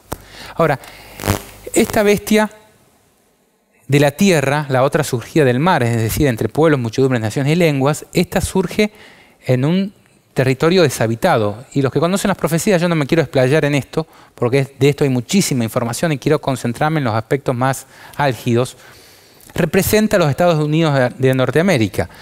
Fíjense, esto parecería hasta un corderito, ¿no? Cuando es chico. Qué Pero fíjense cuando crece. Estados Unidos al principio parecía un cordero, mm, con apariencia de cristianismo, pero cuando crece se transforma en una bestia así, que tiene cuernos semejantes a los de un cordero, pero que habla, si ustedes ponen sonido del búfalo en internet, habla como dragón. Es una bestia espantosa también, una bestia fuerte. No era, es un era el cordero. símbolo de Estados Unidos porque habían cientos de miles de estos que eran. cientos de miles de ¿Le- estos que sirve para ilustrar? eh, corrían por todas las, la- la- las pampas como ganado aquí en, en el oriente boliviano. Wow. Y este sí, es, es el símbolo de Estados Unidos y realmente muy apropiado. Si, le- si es que el, el apóstol Juan vio eso, Claro. describe bien a Estados Y la Unidos. época del apóstol Juan no se conocía en aquellos territorios este animal. Sí, no. Entonces él lo tiene que describir. Parece una bestia gigante que tiene cuernos como los de un cordero, pero que habla como dragón. Eh, el búfalo es un animal que, o el Te- bisonte tengo un amigo dice, que ¿no? los cría. ¿Ah, sí? Ah, Sí, sí, muy lindo. Ahí esperado va a sacar fotos y todo, muy lindo, pero sí son inmensos así. Nunca se había visto en el, en, allá en Europa eso. Bueno, ¿qué va a hacer este poder en, en la profecía? A ver, dice, también hace grandes señales, de tal manera que aún hace descender fuego del cielo a la tierra delante de los hombres. Y engaña a los moradores de la tierra con las señales que se le ha permitido hacer en presencia de la bestia, mandando a los moradores de la tierra que le hagan imagen a la bestia que tiene la herida de espada y vivió. Ese poder, esa bestia, usa su autoridad, su poder para hacer, forzar los moradores de la tierra que adoren a la primera. Ahora, eso lo hace de una manera muy notable, a través de poder, porque es bestia, pero también a través del engaño. Y dice, hace grandes señales de tal manera que aún hace descender fuego del cielo a la tierra ante la vista de los hombres. Otra vez, volvemos a la historia de quién, pastor. Elías. Elías. So- solo ah, uno se pregunta si un poder como una nación, un gobierno como Estados Unidos, ¿cómo hará descender fuego? Porque eso es un milagro. Claro, pero es un milagro que está en una disputa de adoración. en la Sí, historia eh, de Elías. Sí, Hay que ver el simbolismo de esto, me parece. sí. Me, parece que Estados Unidos no va, no va a saber, eh, Donald Trump no va a saber hacer milagros. Ah, porque estamos hablando de que hace estas cosas, pero en el tiempo de Elías Dios hizo caer fuego. Pero de alguna manera, no sé si se va a simular o se va a usar ah, otra forma, pero vamos a entender mejor en el futuro. Pero lo importante es que sea simbólico o sea literal, de alguna manera que lo haga, va a convencer a los moradores de la tierra por engaños que deben seguir a la primera bestia y adorarlo. A ver, yo cuando preparaba este tema pensaba lo siguiente. En el pasado, en la época del pueblo de Israel, cuando vivía Elías, que de paso también está citado en Apocalipsis 11, ¿se acuerdan de los dos testigos? Ah, sí. De que eh, hacía, Hacían como dice, no, dice estos dos testigos que profetizan por 1260 Ah, días de vestidos de boca. silicio. Dice, estos dos testigos son dos olivos. ¿eh? Dice, si alguno quiere dañarlos, sale fuego de sus bocas y devora a sus enemigos, algo que ocurrió cuando Elías dijo que descienda fuego del cielo y los queme. Y dice, estos tienen poder para cerrar el cielo a fin de que no llueva en los días de su profecía. Eso es lo que sucedió en la historia de Elías. Estamos hablando, estamos hablando de que no llueva y también se está hablando de fuego. Los dos aparecen en el mismo símbolo. Exactamente. Ahora, en el antiguo, Dios en su misericordia se manifestaba a través de grandes señales para mostrarle a las personas quién era el Dios. verdadero Dios.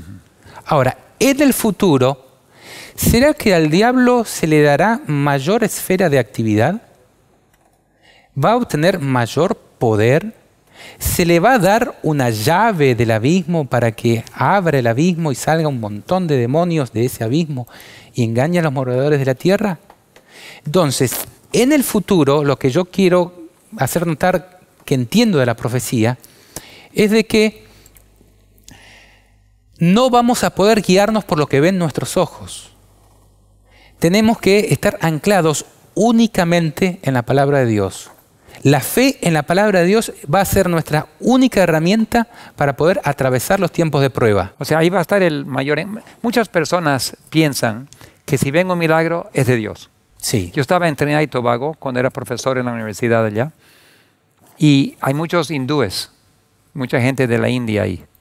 Y un día pasamos por ahí, había una cola larga y dijimos, ¿qué tal? cada uno tenía un- un- una, una tacita y con una cuchara. Y, ¿y ustedes qué están haciendo? Le están dando leche de, de tomar a la estatua de piedra. Pero no, no entiendo. ¿qué? Yo me paré a preguntar, ¿qué está pasando? La gente que vienen a la estatua le ponen leche y la leche desaparece. Y le dan, y la piedra, el, el- el dios elefante que ellos tienen, este, se tomaba la leche. Venían con el, la taza llena de leche y, y la piedra se los chupaba. Entonces ellos, milagro, milagro, milagro. Y la gente venían, oh, mira, el dios elefante está tomando, Ganesh se llama el dios elefante. Entonces ellos sentían que, bueno, se ve, se ve un milagro, es de Dios. Entonces muchos hermanos católicos, evangélicos, un pastor viene, hace un milagro y ah, un pastor evangélico bien conocido en Estados Unidos hizo así y todo, todos los ah, la- las amalgamas que hay en los dientes se convirtieron en oro de las personas que estaban ahí. Dice, ah, milagro, Dios estuvo presente hoy día. Entonces, lo que estás diciendo, si te entiendo bien, no es el poder de hacer milagros que debe convencernos. Nuestros propios ojos nos van a... Satanás va a bajar como un ángel de luz y muchas personas al verlo brillar van a decir Jesús ha venido. Exactamente. Pero entonces no podemos... ¿Alguna vez Dios le permitió al diablo transfigurarse y hacerse pasar por Cristo? Como le va a permitir en la última generación. Cuando Cristo estaba en el desierto, se hizo parecer como el ángel, el ángel, este, como Cristo, y el otro suponiendo que Cristo era el ángel caído. Él estaba insinuando. Entonces, si una vez ha pasado antes, en el momento de mayor desespero, Pero solo con Cristo, no con el mundo no entero. con el mundo entero, solo con Cristo. Dios, Pero- Dios le impide de que se presenten demonios y lo quieran eh, hacer daño o de que lo posesionen los demonios a usted, por ejemplo. Es algo que tienen prohibido. Pero en el futuro les, les va a ser permitido transfigurarse como humanos. ante, ante, ante la televisión, canales de televisión, moradores de la tierra. Y, Y va a ser grandes casi milagros. imposible, y va a hacer milagros, va a sanar a la gente, va a hablar con una voz tierna y segura. ¿Cómo saber? Solamente sabe, bueno, si enseña si enseña cosas en contra de la ley de Dios, ese no es Dios. La doctrina del estado de los muertos es muy importante aquí porque se va a hacer pasar por personas que han fallecido, Sí. diciendo que las ha resucitado. Entonces, vemos una clara referencia nuevamente aquí en el Apocalipsis a la historia de Elías. Y sabemos que Elías tiene un simbolismo muy importante para los redimidos de la última generación. Ahora, repasemos Elías. Elías denunció la apostasía del pueblo y la amalgama entre Acab y Jezabel. Jezabel es la profetisa del diablo, vendría a ser la Babilonia. Se había unido el poder político con el poder religioso pagano. Después Elías tiene que huir durante tres años y medio al desierto. Al final de ese momento ocurren grandes señales, pero ahí se manifestó Dios por su pueblo y descendió fuego del cielo ante, los, ante la vista de los hombres.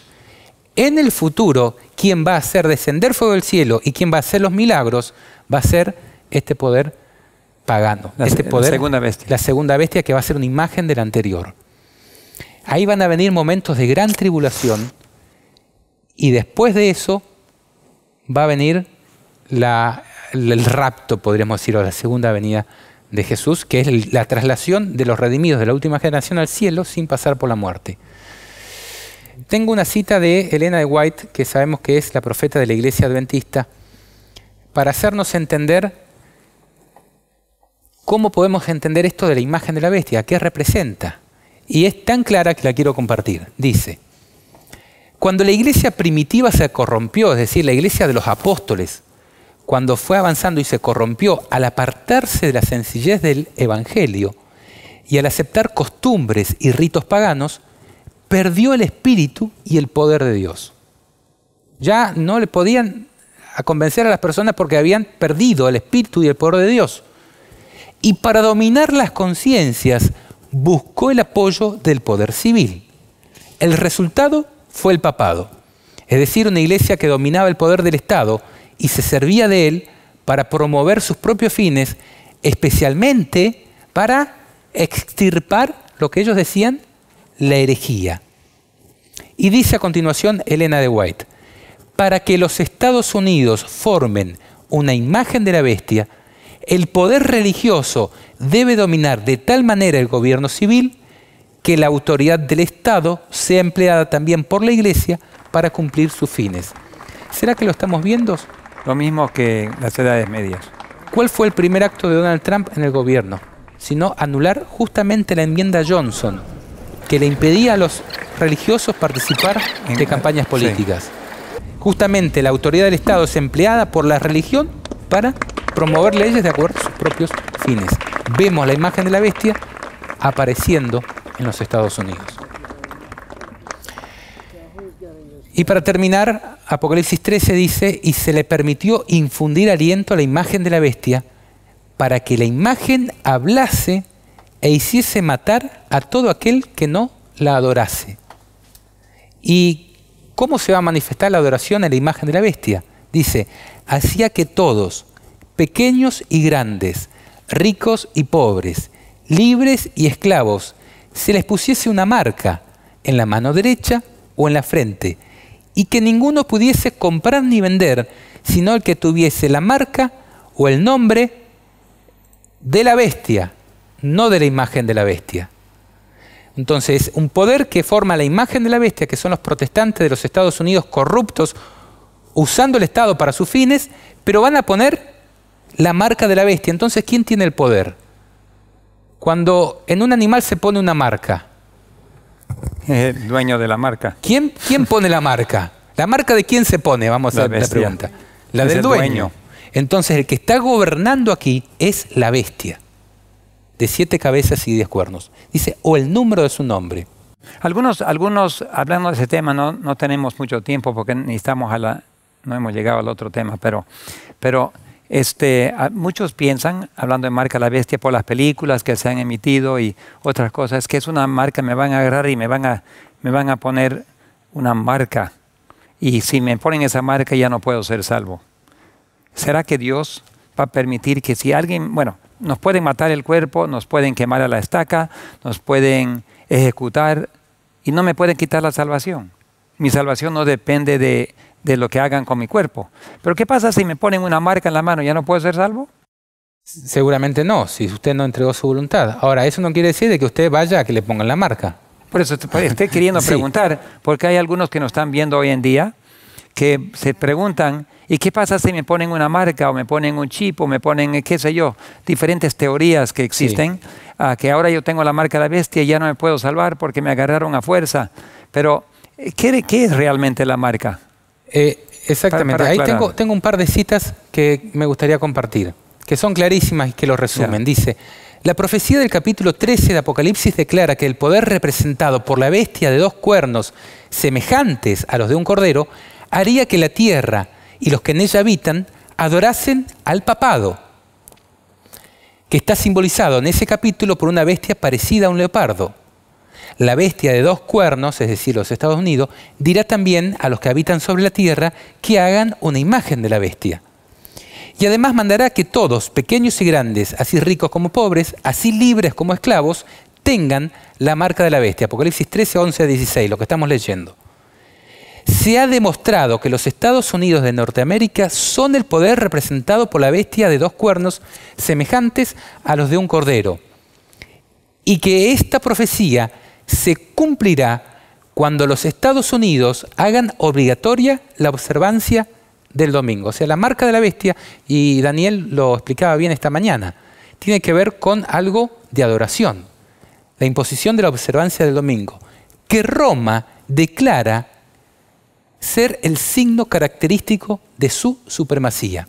Ahora, pero aclara, pero los Estados Unidos no serán los únicos que rindan homenaje al, al papado. La influencia de Roma en los países que en otro tiempo reconocían su dominio, es decir, los diez cuernos, dista mucho de haber sido destruida.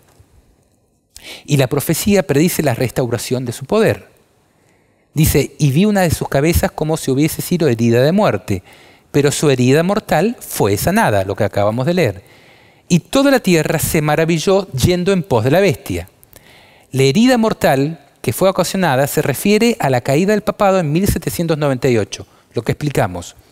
Después de eso, dice el profeta, su herida mortal fue sanada y toda la tierra se maravilló yendo en pos de la bestia. Entonces, si entiendo bien, la marca de la bestia tiene relación con la observancia de un día falso de reposo, En oposición al sello de Dios, que es el sábado. que es el sábado. Ok, entonces tenemos el sábado, que es dictaminado por Dios. El mismo cardenal Gibbons, que, que este, escribió ese libro, él dijo, en la Biblia solamente hay una sola, un solo día que exige la obediencia y ese es el sábado. El domingo lo puso la Iglesia Católica como sello de su supremacía, es lo que leímos ahorita ahí. Entonces, algún día habrán leyes. Ahora, ¿cómo yo puedo recibir la marca de la bestia? Simplemente, si dice no se puede, no se puede arar el sábado tus tierras, tienes que esperar hasta el lunes. Si yo no aro, recibo la marca de la bestia o es algo de, o es algo mucho más que eso. Ah, por ejemplo, si doy estudios bíblicos o si visito a mis vecinos, ahora en la cuarentena no podemos ni hacer muchas de esas cosas, pero digamos, este, ¿debo tener miedo de recibirlo por error, por accidente o es una decisión que debo tomar? Es una decisión que cada uno debe tomar, entiendo yo, claramente, De lealtad. de lealtad y posicionarse dentro de los que persiguen a los que tienen el sello de Dios o dentro de los que son perseguidos por lo que tienen la marca de la bestia. No va a ser algo accidental. Ok, entonces no, no tengo que temer que me voy, a- voy- me voy a perder simplemente porque erróneamente, por accidente, recibo la marca de la bestia. No, No va a ser estamos hablando de una decisión, decir, mira, yo voy a seguir a tal ah, autoridad o a la autoridad de Dios y voy a, voy a elegir dar mi lealtad a ese poder y así yo recibo la marca. Pero no es por accidente, no es que me agarren y me pongan en la mano. No. Es una decisión que tengo que tomar. Mire, yo encuentro un ejemplo muy patente de eso en el conflicto que se originó en el cielo. Cuando Satanás se rebeló, Dios podría haberlo expulsado o destruido inmediatamente, pero él permitió que se arme conflicto y que se, fuer- se formen dos bandos, unos que atacaban y otros que defendían a Cristo. Lo mismo va a pasar en el futuro. Ah, Va a haber gente que va a estar atacando a Cristo y a su ley, que es su carácter, y va a haber gente que va a estar siendo fiel a Cristo, resistiendo los ataques del enemigo. Entonces, mayormente son los poderes de la tierra, de naciones, nuevo orden mundial, religiosos, que se unen en contra de la ley de Dios y usan su poder político, poder de influencias religiosas y todo para forzar la conciencia. Y hay penalidades, no se puede comprar ni vender. Entonces, si yo no estoy en un lugar donde puedo, bueno, sabemos que Dios puede darnos maná para comer. Sabemos que Dios es capaz de darnos pan y agua como hizo con Elías. Y Elías lo sustentó con una viuda, pobre con que se viuda por morir de hambre. El aceite y la, y la harina cada día. Entonces, pero, pero Elías estaba haciendo todo lo que Dios le decía que haga. Y cuando Dios le dijo que vaya acá, se fue allá. Que predique tal cosa, predicó cualquier cosa. No se preocupó de las consecuencias, hizo lo que Dios le dijo. Pero nosotros también tenemos que hacer lo mismo. Si vamos a ser como Elías, tenemos que empezar a obedecer ahora, hacer lo que Dios nos dice, cumplir su voluntad y Dios nos va a cuidar. Pero, pero hay que... Y hay- descansar en eso, que Dios es nuestro amparo y fortaleza. Sí, pero si soy desobediente ahora, entonces mañana yo me voy a encontrar sin, sin salida. Entonces voy a tener que someterme al poder. Si te cuesta con los que andan de a pie, ¿cómo será cuando vengan de a caballo? Dice, ¿no? Ex- Sí, exactamente. Exactamente. Bueno, el último versículo de Apocalipsis 13 dice, aquí hay sabiduría, el que tiene entendimiento, cuente el número de la bestia, pues es número de hombre. Su número es 666. Bueno, quiero repasar a modo de vuelo de pájaro algunas informaciones para que ustedes puedan tener en cuenta que la marca de la bestia está relacionado con algo espiritual, más que con un microchip, aunque ya vamos a hablar un poquito acerca de eso. La- el 666 surge históricamente, la iglesia protestante, la iglesia adventista, ha sabido contarlo, a raíz de la- del título papal blasfemo Vicario Filis Dei, que es el representante del Hijo de Dios, que sumado Vicario de Dios. el, el Ah, valor numérico Ajá. de esas letras en romano o en latín dan 666. Esto es bastante conocido, lo pueden ver ustedes y calcular. Ahora, no es la única frase blasfema que suma 666. También hay otra frase que es dux cleri, que es jefe del clero. Si ustedes suman 500 la D, 5 la B, 10 la X, 100 la C, 50 la R y 1 de la I, suma 666. Ahora, algo más. Dice, si alguno tiene entendimiento, cuente. ¿Esto qué es? Las letras básicas del El- sistema de numeración numerales. romano. las, las básicas, no las agregadas como el mil y demás. Ah. Estos tienen un valor numérico. La I el 1, la B el 5, la X el 10, la L el 50, la C el 100, la D el 500. Esto se llama números romanos. ¿Cuánto suma esto? 666. Hasta el mismo sistema de numeración romano está, como dice, íntimamente vinculado O sea, Roma, con esta Roma, marca. Roma. Roma, Roma, Roma por todos lados. Ahora, hay otro, otro punto que a mí me gustaría considerar.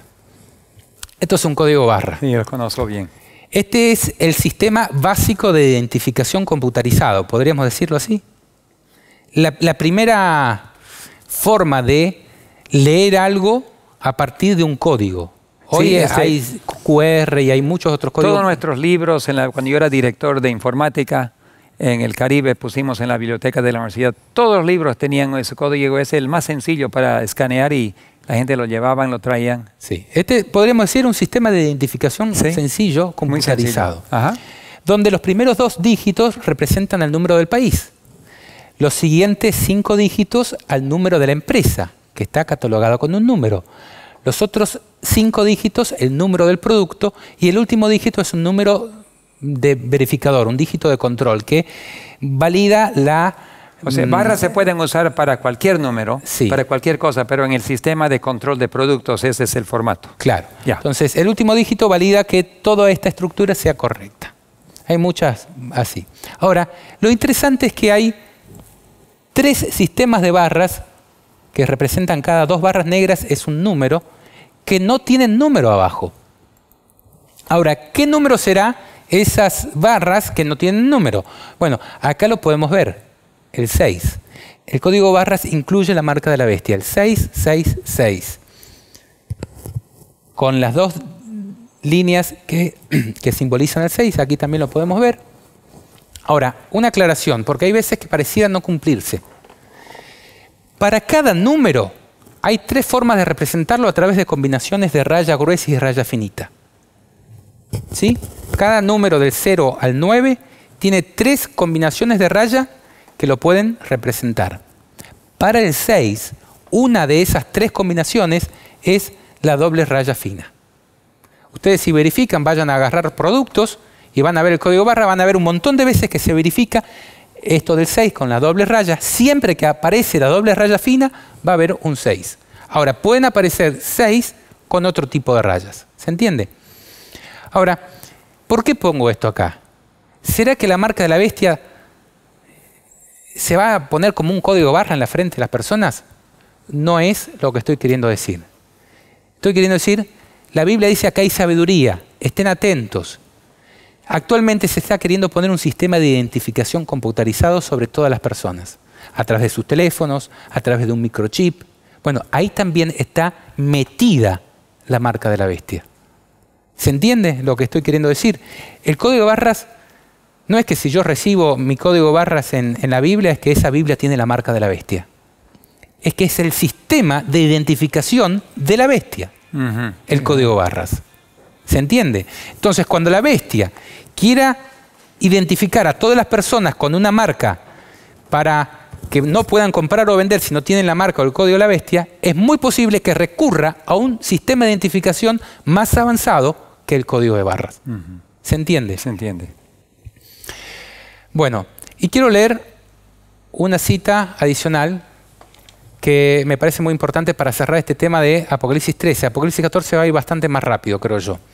Dice, por el decreto que imponga la institución del papado, es decir, el domingo, en violación de la ley de Dios, nuestra nación se separará completamente de la justicia. Cuando el protestantismo extiende la mano a través del abismo de donde surge la bestia, para asir la mano del poder romano, cuando se incline por encima del abismo para darse la mano con el espiritismo, que no estaba en el abismo, está arriba el espiritismo, cuando bajo la influencia de esta triple unión nuestro país, es decir, los Estados Unidos, repudie todo principio de su constitución como, como gobierno protestante y republicano y haga provisión para la propagación de las mentiras y seducciones papales, entonces sabremos que ha llegado el tiempo en que se verá la asombrosa obra de Satanás y que el fin está cerca. Estas dos palabras, entonces sabremos, creo que está cargado de significado, porque el fin está cerca, siempre desde que se escribió el Apocalipsis dice que el fin está cerca. Pero ¿cuándo va a estar realmente cerca el fin? Y cuándo vamos a saber, a tener la certeza, es cuando se imponga esta ley dominical. Bueno, Satanás va a empezar a obrar en una forma que va a poder hacer descender fuego del cielo ante la tierra, ante la vista de los hombres, ¿no? Dice la continuación de la cita, y esto es la clave, como el acercamiento de los ejércitos romanos fue para los discípulos una señal de la inminente destrucción de Jerusalén, esta apostasía podrá ser para nosotros una señal de que se llegó al límite de la tolerancia de Dios. Es la abominación desoladora aunque algunas personas. Cuando llegue su límite, vienen los juicios de Dios. Dice: así como el sitio del ejército romano fue la señal para decirle ya llegó el límite de la paciencia de Dios la ciudad de Jerusalén, cuando los protestantes pongan la ley dominical, va a ser la señal de que se llegó al límite y de que nuestra nación, es decir, los Estados Unidos, colmó la medida de su iniquidad y que el ángel de la misericordia está por emprender el vuelo para nunca más volver. Se está por cerrar mm. el tiempo de gracia cuando se ponga la ley dominical. Se está por cerrar el tiempo de gracia. Los hijos de Dios se verán entonces sumidos en aquellas escenas de aflicción y angustia de Jacob. Como la sangre de Abel clamó desde el suelo, hay voces que claman a Dios desde la tumba de los mártires, acá está que se van a matar, desde los sepulcros del mar, otra vez, que se los va a ahogar, desde las cuevas de las montañas, desde la, cuando huyan de los montes, desde las bóvedas de los conventos. Acá yo recuerdo una aplicación suya de, de las cárceles que hay abajo de las catedrales de Nueva York, ¿no? Diciendo, ¿hasta cuándo, Señor, santo y verdadero, nos juzgas y vengas nuestra sangre de los que moran en la tierra? Este es el quinto sello. Algunos dicen que ya se cumplió. Acá Elena lo presenta en el futuro. Cuando salga la ley dominical y se venga la persecución. que van a estar preguntando hasta cuándo. Otra vez la pregunta en relación al tiempo. Son muy, muy solemnes, estos mensajes son muy solemnes. Uno al pensarlo y al leerlo se da cuenta de que no es momento para divertirse, no es momento para, para dormir, no es momento para, para entretenerse. Eso de coloquemos una película para ver, entretengamos. Vamos a comer y vamos a ver una película y nos vamos a entretener. Y los jóvenes y todos, hermanos, si te vas a salvar, tienes que ponerte una salvavida. Y la salvavida es Jesucristo y su manto de justicia.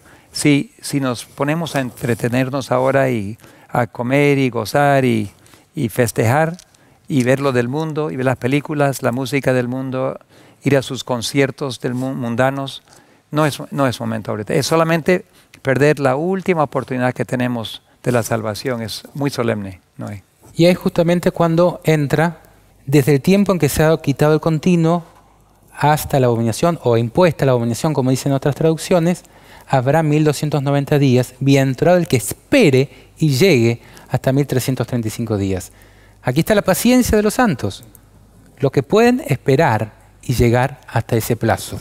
Esto nosotros lo entendemos, también tiene una aplicación clara, definida en el futuro. Ahora, pasando a Apocalipsis capítulo 14, me gustaría hacer la pequeña introducción.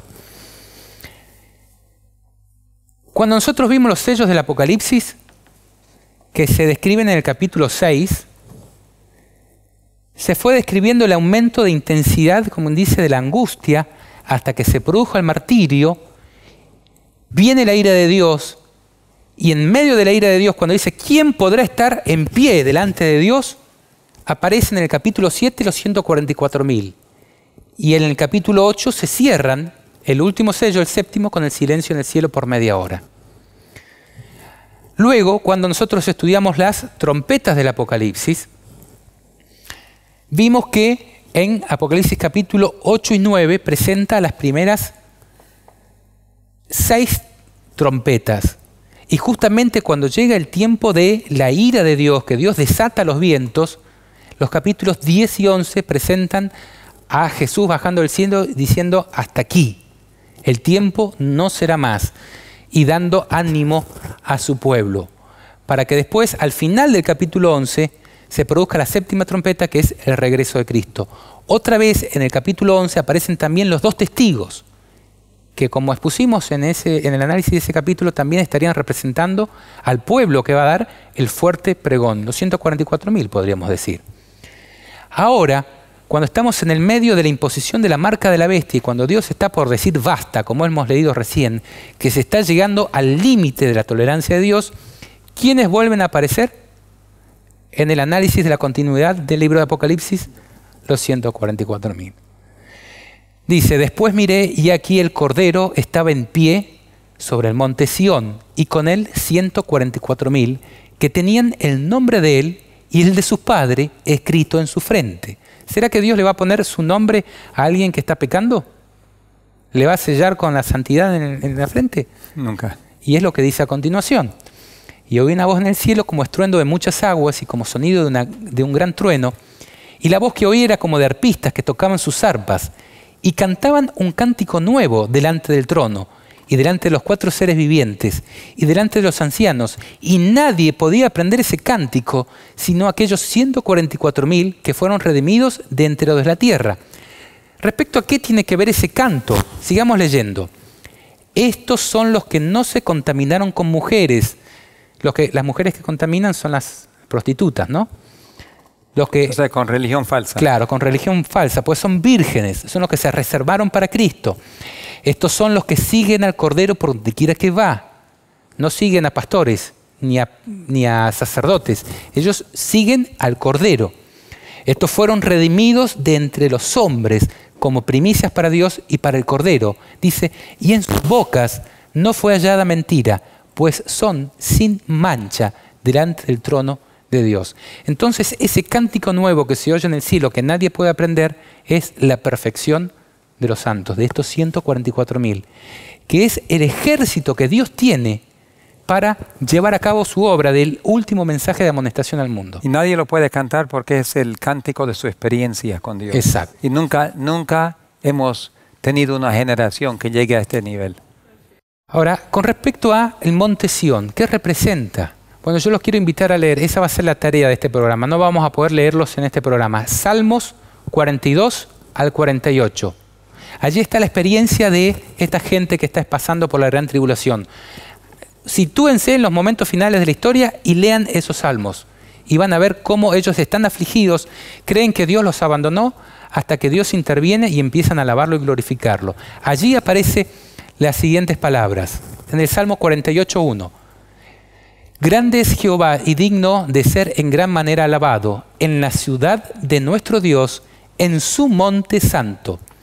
Hermosa provincia, el gozo de toda la tierra es el monte Sión a los lados del norte, la ciudad del gran rey. ¿Quién quiso subir a los lados del norte? Lucifer. El monte santo. Bueno, ahí está Dios, en su monte santo. El monte Sión es el monte donde habita Dios. Y con él están representados los 144. A mí siempre me asombra que Lucifer siempre quería estar en el trono de Dios y en Apocalipsis 3, a la invitación que le hace a la Odisea, al que venciere, le haré, que, se siente conmigo a mi trono, como yo he vencido y me senté con mi, mi Padre en su trono. Los seres humanos tenemos el privilegio de hacer lo que ningún ángel ha sido invitado a hacer, a reinar con Dios en su trono. Qué increíble, ¿no? Es un privilegio que no podemos perder. Así es. Eh, a continuación, el texto de Apocalipsis 14 dice, vi volar en medio del cielo otro ángel que tenía el Evangelio eterno para predicarlo a, los moradores de la tierra, a toda nación, tribu, lengua y pueblo. ¿Será que este evangelio va a ser el evangelio de los 144.000? Justamente está en el contexto. ¿Qué dice este evangelio eterno? Diciendo a gran voz, temed a Dios y dadle gloria, porque la hora de su juicio ha llegado. ¿Qué van a predicar los 144.000? El juicio. La hora de su juicio ha llegado. Que nadie se escandalice porque alguien predique que la hora del juicio ha llegado. Adorad a aquel que hizo el cielo y la tierra, el mar y la fuente de las aguas. La verdadera adoración. Inclusive el sábado del Creador. Correcto. Y a continuación algo que une el capítulo 14 con el 13 de una manera innegable, podríamos decir. Y otro ángel le siguió diciendo, ha caído, ha caído Babilonia, la gran ciudad porque ha hecho beber a todas las naciones del vino del furor de su fornicación. Esto es Apocalipsis 17. Pero el 9 dice, y el tercer ángel lo siguió diciendo a gran voz, si alguno adora a la bestia y a su imagen y recibe su marca en su frente o en su mano, él también beberá el vino de la ira de Dios que ha sido vaciado puro en el cáliz de su ira, y será atormentado con fuego y azufre delante de los santos ángeles y delante del Cordero. Y el humo de su tormento sube por los siglos de los siglos. No tienen reposo ni de día ni de noche los que adoran a la bestia y a su imagen, ni nadie que reciba la marca de su nombre. ¿Podemos separar el mensaje de los tres ángeles de Apocalipsis 13? Si justamente está hablando de lo mismo con que concluye Apocalipsis 13 y está pegado. Sí.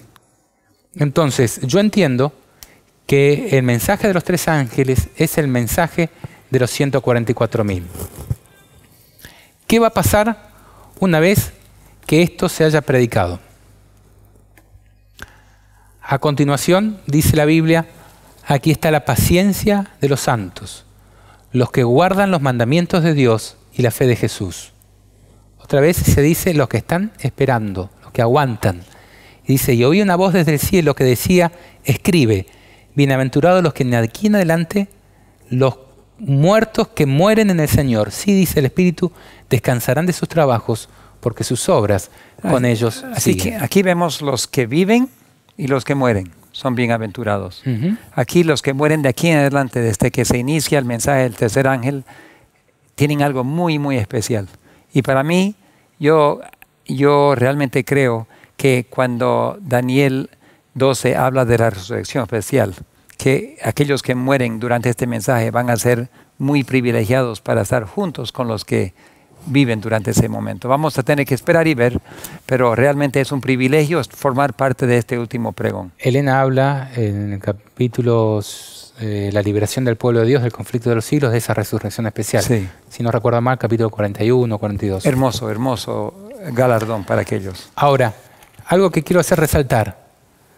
Esta bienaventuranza viene después de la predicación del mensaje del tercer ángel, que es si alguno recibe la marca de la bestia, beberá del vino de la ira de Dios. Entonces, los que mueren en el Señor están apuntados a aquella etapa cuando la bestia esté nuevamente en el poder, esté imponiendo su marca y esté matando. No, espera, espera, espera. No es muy políticamente correcto predicar ese mensaje durante estos momentos. O sea, hay un poder religioso en el mundo, poder político número uno en el mundo, dirigiendo a todos los reyes. Y tú vas a predicar que ese poder es caído y que esa, el, es, es donde los demonios viven y abominaciones están adentro. Y tú vas a predicar eso. En cierta forma, uno diría humanamente es tontería. Pero el no hacerlo también tiene su penalidad. El que, el que recibe la marca tiene que vivir de la ira de Dios. Así es. Y, y, el, que, el que no recibe la marca, y está escrito en el libro de la vida, recibe todo el reino. Así que ni de una ni, ni, de una ni la otra. Pero ¿cuál tienes que elegir entre una, una muerte o la otra? ¿Vas a morir por la eternidad y recibir la ira de Dios?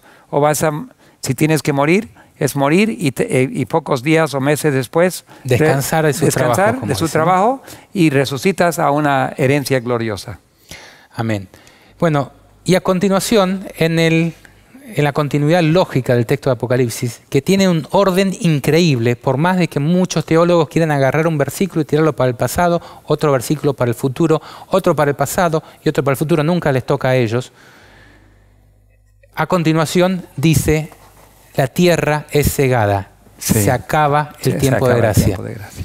Y ahí dice, y esto es fácil de entender, sí, miré y aquí una nube blanca y sobre la nube uno sentado semejante al Hijo del Hombre, es Jesús, que tenía en la cabeza una corona de oro, ha recibido el reino, y en la mano una hoz aguda, algo para cosechar. Y del templo salió otro ángel clamando a gran voz al que estaba sentado sobre la nube mete tu hoz y, y ciega, ciega, porque, la, porque hora... la, hora... de cegar ha llegado. Pues la mies de la tierra, la mies es la cosecha de la cebada uh -huh. y del trigo, ¿no? Uh -huh. Está madura. Y el que estaba sentado en la nube metió su hoz en la tierra y la tierra, y la tierra fue cegada. Ahora fíjense, Jesús viene a llevarse a los suyos. Va a ser otro el que va a venir a meter la siguiente hoz. Sí. Primero se realiza la cosecha de los salvos. Ahí está Jesús para decir, yo vengo a reclamar lo mío. Qué hermoso, qué hermoso. Y después dice, salió otro ángel del templo que está en el cielo, tendiendo también una hoz aguda. Y salió del altar otro ángel que tenía el poder sobre el fuego. Y llamó a gran voz al que tenía la hoz aguda, diciendo, mete tu hoz aguda y vendimia los racimos de la tierra, los que producen vino, porque sus uvas están maduras. Y el ángel arrojó su hoz a la tierra y vendimió la viña de la tierra y echó las uvas en el lagar de la ira de Dios. Y dice a continuación, y fue pisado el lagar fuera de la ciudad, y del lagar salió sangre hasta los frenos de los caballos por 1.600 estadios. Creo que es cerca de 320 kilómetros. Eh, yo creo, por lo, yo men, por lo menos, estoy esperando que Dios nos revele exactamente el significado de esos números. Eh, el símbolo es claro. En algún momento lo vamos a entender. Tenemos que entenderlo porque está escrito para eso. Pero que yo he pedido al Señor, algún día muéstrame qué significan los 1600 estadios, porque tiene, no, no nos dio un número para son, por gusto. Son elementos de la profecía que todavía no terminamos de comprender. Exactamente. Algún día pronto. Este, también el, el, el ángel que tiene el, el, poder sobre el fuego. No, no, no, no entiendo por qué. Yo todavía. tengo una explicación. ¿Recuerda cuando Elías justamente fue llevado al monte después de 40 días y 40 noches de caminar Ajá. sin comer? ¿Qué vio pasar? Un fuego terrible y dice Dios no, estaba no, en el fuego. Una tempestad terrible, Dios no estaba en la tempestad. Un viento terrible, Dios no, estaba en el viento. Pero un una, silbo apacible y Dios estaba en ese silbo. Yo entiendo de que Dios está con la cosecha de sus hijos y después deja Suelta suelta para que las consecuencias. se vengan las consecuencias Sí, sobre la tierra. Puede ser una. Bueno, Pero no yo, yo no quisiera estar en ese lagar. Sí. Yo quiero estar con, con el pueblo de Dios. Y respecto a los, a los elementos que todavía no entendemos, va a ser mi conclusión. La- las presiones, las presiones este, que el mundo va a tener. Ah, querido televidente, este, las presiones del mundo sobre cada morador en la tierra van a ser inmensas. Sobre tu familia, cómo vas a dar de comer a tu familia, cómo vas a, cómo vas a cuidar ah, de tu vida, qué vas a hacer con tu casa, qué vas a hacer si no puedes comprar ni vender. Y, y la tentación va a ser, bueno, voy a ceder, porque tengo que vivir, Dios va a comprender. El problema es que Dios está poniendo una orden divina. Y si tú cedes a los poderes de la tierra que exigen obediencia al, al día de reposo de la bestia, a cambio del día de reposo, porque no va, no va a ser solamente, Noé, no va a ser solamente guardar el domingo, va a ser trabajar el sábado también. O sea. Satanás nunca, nunca exige algo sin exigir pisotear lo de Dios. Está bien que no trabajes el domingo, Al principio va a ser no Así va a trabajar ser, solo sí, el domingo. correcto. Pero después va a ser como hicieron en, como hicieron en Grenada. En Grenada donde tenemos un canal de televisión y radio. Eh, dijeron, solamente el sábado es el único día cuando se puede comprar alimentación. Bueno, por ejemplo, ahora en mi ciudad, Santa Rosa La Pampa, el sábado hay horario extendido donde se puede ir a comprar desde las 10 de la mañana hasta las 6 de la tarde. El domingo han autorizado como excepción que sea el día de la familia, que se pueda reencontrar la familia. Y no se puede comprar. No se puede comprar ni vender. Los comercios tienen que estar y- y cerrados. otro día? Otro día no. Entonces, estos son adelantos que están Ah. empezando a aparecer para Sí. poner el comercio principal sobre el sábado y establecer el domingo como un día para la familia. Entonces ahí vemos un, como dijiste, un, un símbolo de que viene. No solo es estar con la familia, porque no es un pecado estar con la familia el No. domingo, pero comprar, vender y hacer tu negocio el sábado, eso es. Entonces van a exigir romper el sábado y guardar el domingo. Entonces, en algún momento las presiones van a ser tan difíciles, tu pregunta va a ser, no, ¿será que Dios, la tentación va a ser, ¿será que Dios me permitirá? Él va, él va a comprender. Pero Dios no comprende cuando su pueblo desobedece la ley de Dios. No es solo guardar un día, es quebrar el otro. Entonces, ahora mismo es el momento para, para poder prepararnos, aprender a seguir al Cordero donde quiera que vaya. Es el momento para poder aprender confianza en Dios, obedecer a Dios y ver que nos va a cuidar. Elías tuvo que comer y nuestro vuelo Dios también va a tener que comer. O si Dios permite que suframos hambre, Él sufrió 40 días de hambre. Jesús sufrió más hambre que cualquier ser humano. Entonces, entonces Él sabe cómo librarnos del pecado. Y si es su voluntad que pasemos, no solo de pan vivirá el hombre, pero de cada palabra que sale de la boca de Dios. Y para mí es lo que debemos aprender ahora. Obediencia a Dios desde ahora, porque mañana cuando llegue la prueba mayor, ya habremos aprendido, habremos aprendido a confiar en Dios y seguir al Cordero donde quiera que vaya. El que no confíe hoy en la palabra escrita y se lleve por lo que ve o por lo que dicen, no, va a poder tener a éxito poder. en ese momento. Y, y ahí incluyo un- la mayor parte del pueblo de Dios. En este momento, la mayor parte del pueblo de Dios está confiando de seres humanos y no de Dios. Están hasta, hasta líderes religiosos. No, no, hay que ceder, hay que, hay que hacer Y- todo lo que se le diga. Llegan muchos mensajes, dicen, ah, pero uno dicen esto, otros dicen aquello, ¿a quién creer? Sí. Y hay un problema. No con los que dicen tanto esto o aquello, sino con el que quiere creer lo que dicen las personas y no se guía por su estudio de la Biblia. Sí. Es la Biblia que tiene la autoridad final y que nos trae la promesa del cuidado de Dios. Bien. Salmo 91. Muchas gracias, Pastor, por habernos acompañado. Loreto, tu conclusión. Eh, bueno, primeramente agradecer a todas las personas que estuvieron acompañándonos, también a todos aquellos que dijeron que extrañaban este programa. Eh, realmente se ve que, que está siendo de bendición para muchos. Y es nuestro deseo de que siempre sea así. Y gracias por estar ustedes con nosotros y estudiar la Biblia con nosotros y, y tener ese deseo de buscar la verdad a través de la palabra de Dios. ¿no? Muchas gracias a, a Tamar también por cuidar a nuestro hijo, Cindy que, Natanael. que están cuidando a Natanael a ver cómo está. Ojalá Dios quiera que muy bien. Eh, bueno, para concluir me gustaría decir de, eh, bueno, comentar algo que habían comentado aquí en Facebook, un amigo que se llama Wilfredo. Dice, somos una generación privilegiada ya que estamos viviendo en los umbrales de la eternidad. Así como decía también el pastor David, que nosotros vamos a tener el privilegio de, de estar en el trono de Dios, de poder sentarnos en su trono. Y yo creo que tenemos que alegrarnos, tenemos que regocijarnos en estos momentos de crisis y, cada vez que estén pasando más cosas, así como los dolores de parto van a ser más fuertes, más fuertes, más fuertes, hasta que al final venga Jesús, es como que tenemos que cada vez que venga algo decir, gloria a Dios porque está cada vez más cerca. Y los días que estamos viviendo tenemos que pensar, bueno, hoy es un día más cerca de ver a Jesús y que esa, esa sea nuestra motivación en todo nuestro caminar, en todo lo que nosotros hagamos. Y nosotros ahora experimentando el rol de padres, entendemos un poco cómo, cómo es Dios con, como padre. O sea, realmente está cuidando de nosotros, pero también nos quiere enseñar y purificar nuestro carácter. Entonces, también tenemos que pasar por momentos difíciles, pero esos momentos difíciles nos ayudan a aferrarnos de la mano de Dios. A veces el llanto es necesario. sí, cuánto he llorado esta semana, pero... El bebé también. el bebé también.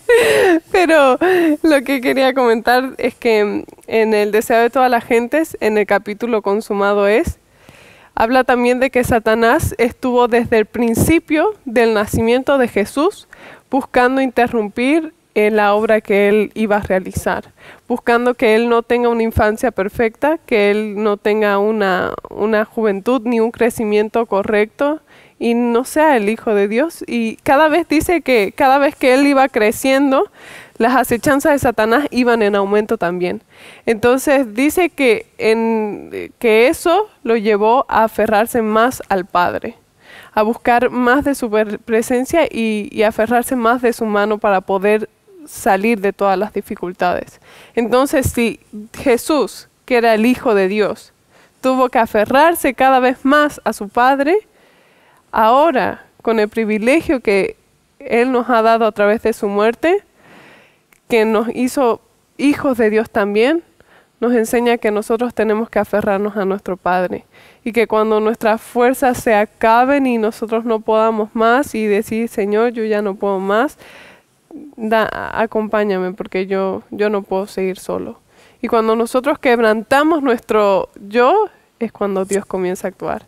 Entonces, que esa pueda ser la realidad de nuestra vida y que nosotros podamos aprender hoy a, a vivir cada vez más cerca de Dios y regocijarnos a pesar de que la situación esté más fea y que cada día fue, sea un despertar y decir un día menos para, para ver a Jesús.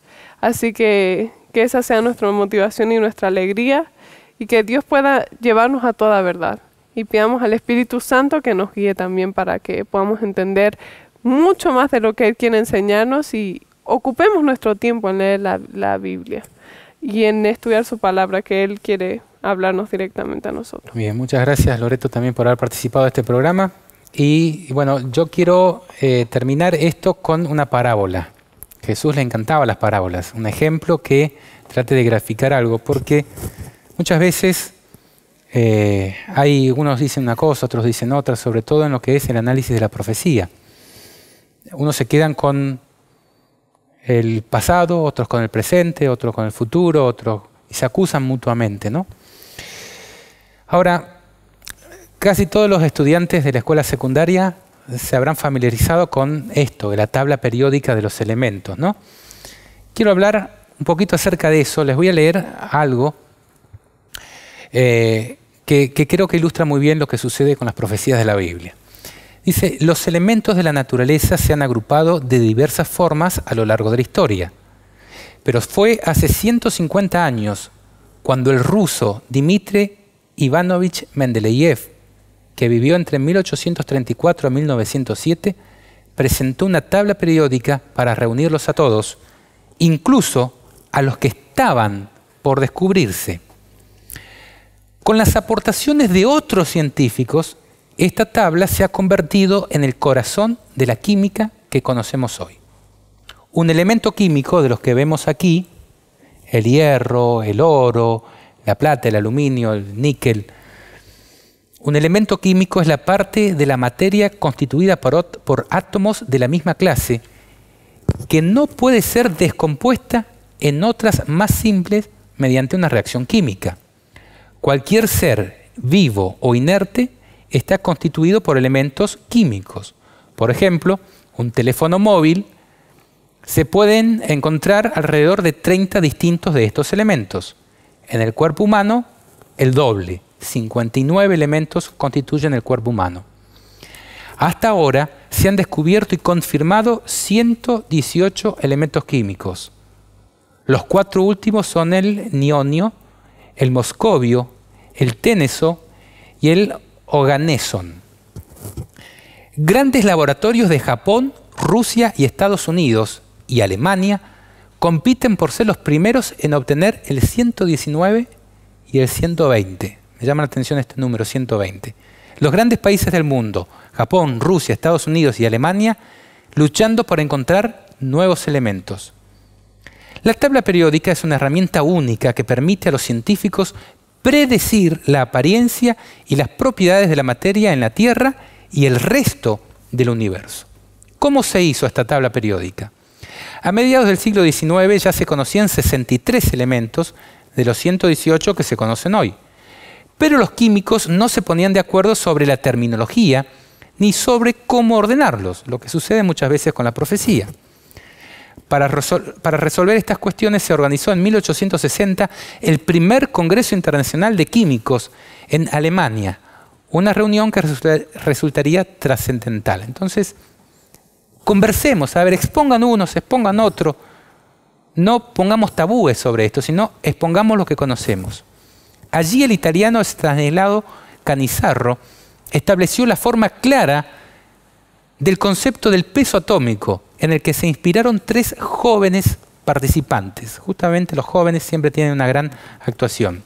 William Olding, Julius Lothar Meyer y Dmitri Ivanovich Mendeleev para crear las tablas. La de Mendeleev fue la más exacta al hacer predicciones y dejar huecos para elementos que se descubrirían después, como el galio, que en 1875 se descubrió, el escandio en 1879 y el germanio.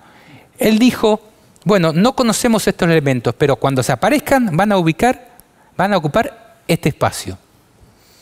Nosotros recién decíamos, bueno, no conozco qué significan los 300 estadios, los 1200 estadios, ¿no? 1600. En algún momento esos 1600 estadios se va a entender qué significa. Ahora, presten atención a esto. Cuenta la leyenda que la idea del sistema de la tabla periódica de los elementos le vino el primero de marzo de 1869 a Mendeleev durante un sueño. Pero el químico ruso replicó una vez, llevo 20 años pensando en esto, aunque creas que estaba sentado y de repente ya está. O sea, yo comparto esto para que tengamos en cuenta de que las profecías de la Biblia no tienen un único orden a veces, o sea, no es solamente lineal. Tienen alturas, tienen profundidades, tienen anchuras, tienen longitudes, que tenemos que ir descubriendo. Y algunos descubren una cosa, otros descubren otros elementos que relacionan todas las cosas, otros descubren elementos, y otro como Mendeleev pudo estructurarlos en una tabla que nos permite entenderlos y compararlos y hacer predicciones hacia futuro. Cada uno hizo su aporte. Ahora, esto no terminó en 1869. Continuaron investigando y en el día de hoy las grandes potencias del mundo se disputan a ver quién encuentra el 119 y el 120. Entonces, yo creo que Dios, cuando da su palabra profética, lo hace de una manera viva y eficaz, tal como dice la Biblia. No es solamente para un tiempo y para otro perdió la vigencia, porque su palabra es viva. Estaba presente en el pasado y está presente en el futuro. Así como la tabla periódica tiene diferentes dimensiones en cómo organizar los elementos y tiene algunos que se relacionan, algunos llegan hasta allá, otros llegan más hasta acá, pero todos van encontrando su lugar yo creo que en las profecías de la Biblia sucede algo parecido. Dios yo lo concibo como un ser multidimensional, que establece su palabra de una manera asombrosa, espectacular, con vigencia durante todo el tiempo. Entonces, muchas veces las profecías de la Biblia tienen un cumplimiento cuando se dieron, un cumplimiento durante el desarrollo de la historia y un cumplimiento al final, como lo hemos presentado hoy. Nos toca a nosotros hacer la tarea de estos científicos que permanentemente están contemplando estos elementos, estudiándolos, para que un día surja la clave de cómo organizarlos para poderlos entender a todos.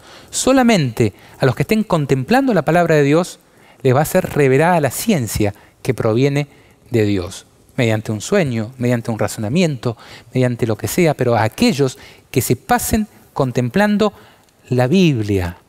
Basta de hablar por fuera de la Biblia y vayamos a estudiar la palabra de Dios. Yo invito a todos los que quieran discutir este tema, que nos sentemos a estudiar la Biblia, la palabra de Dios.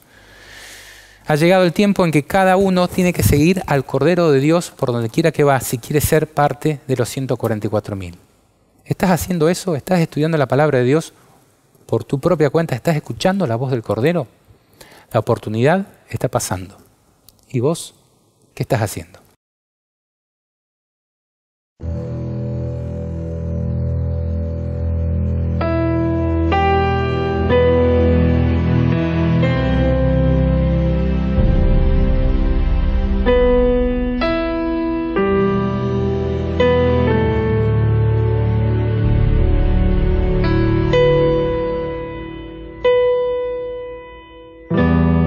Tres hebreos decidieron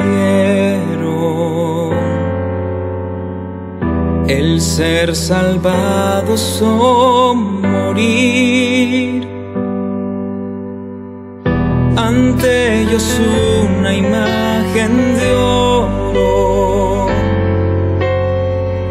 El rey les ordenó servir. El Dios a quien servimos puede librar del fuego,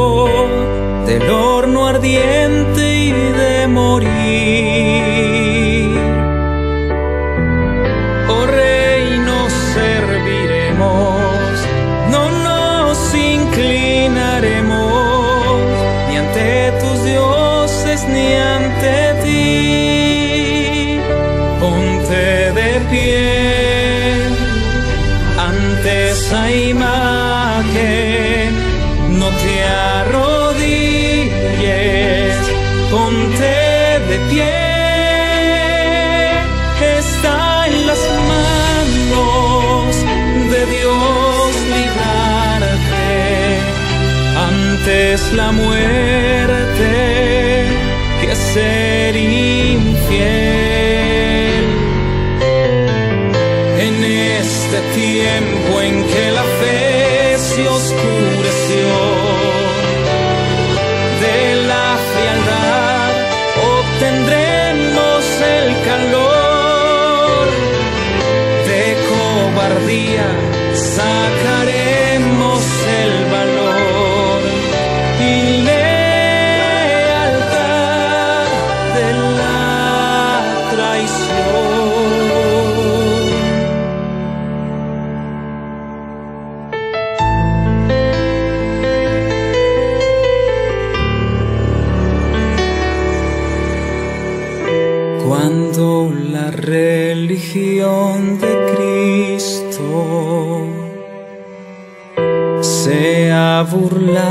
sin temer,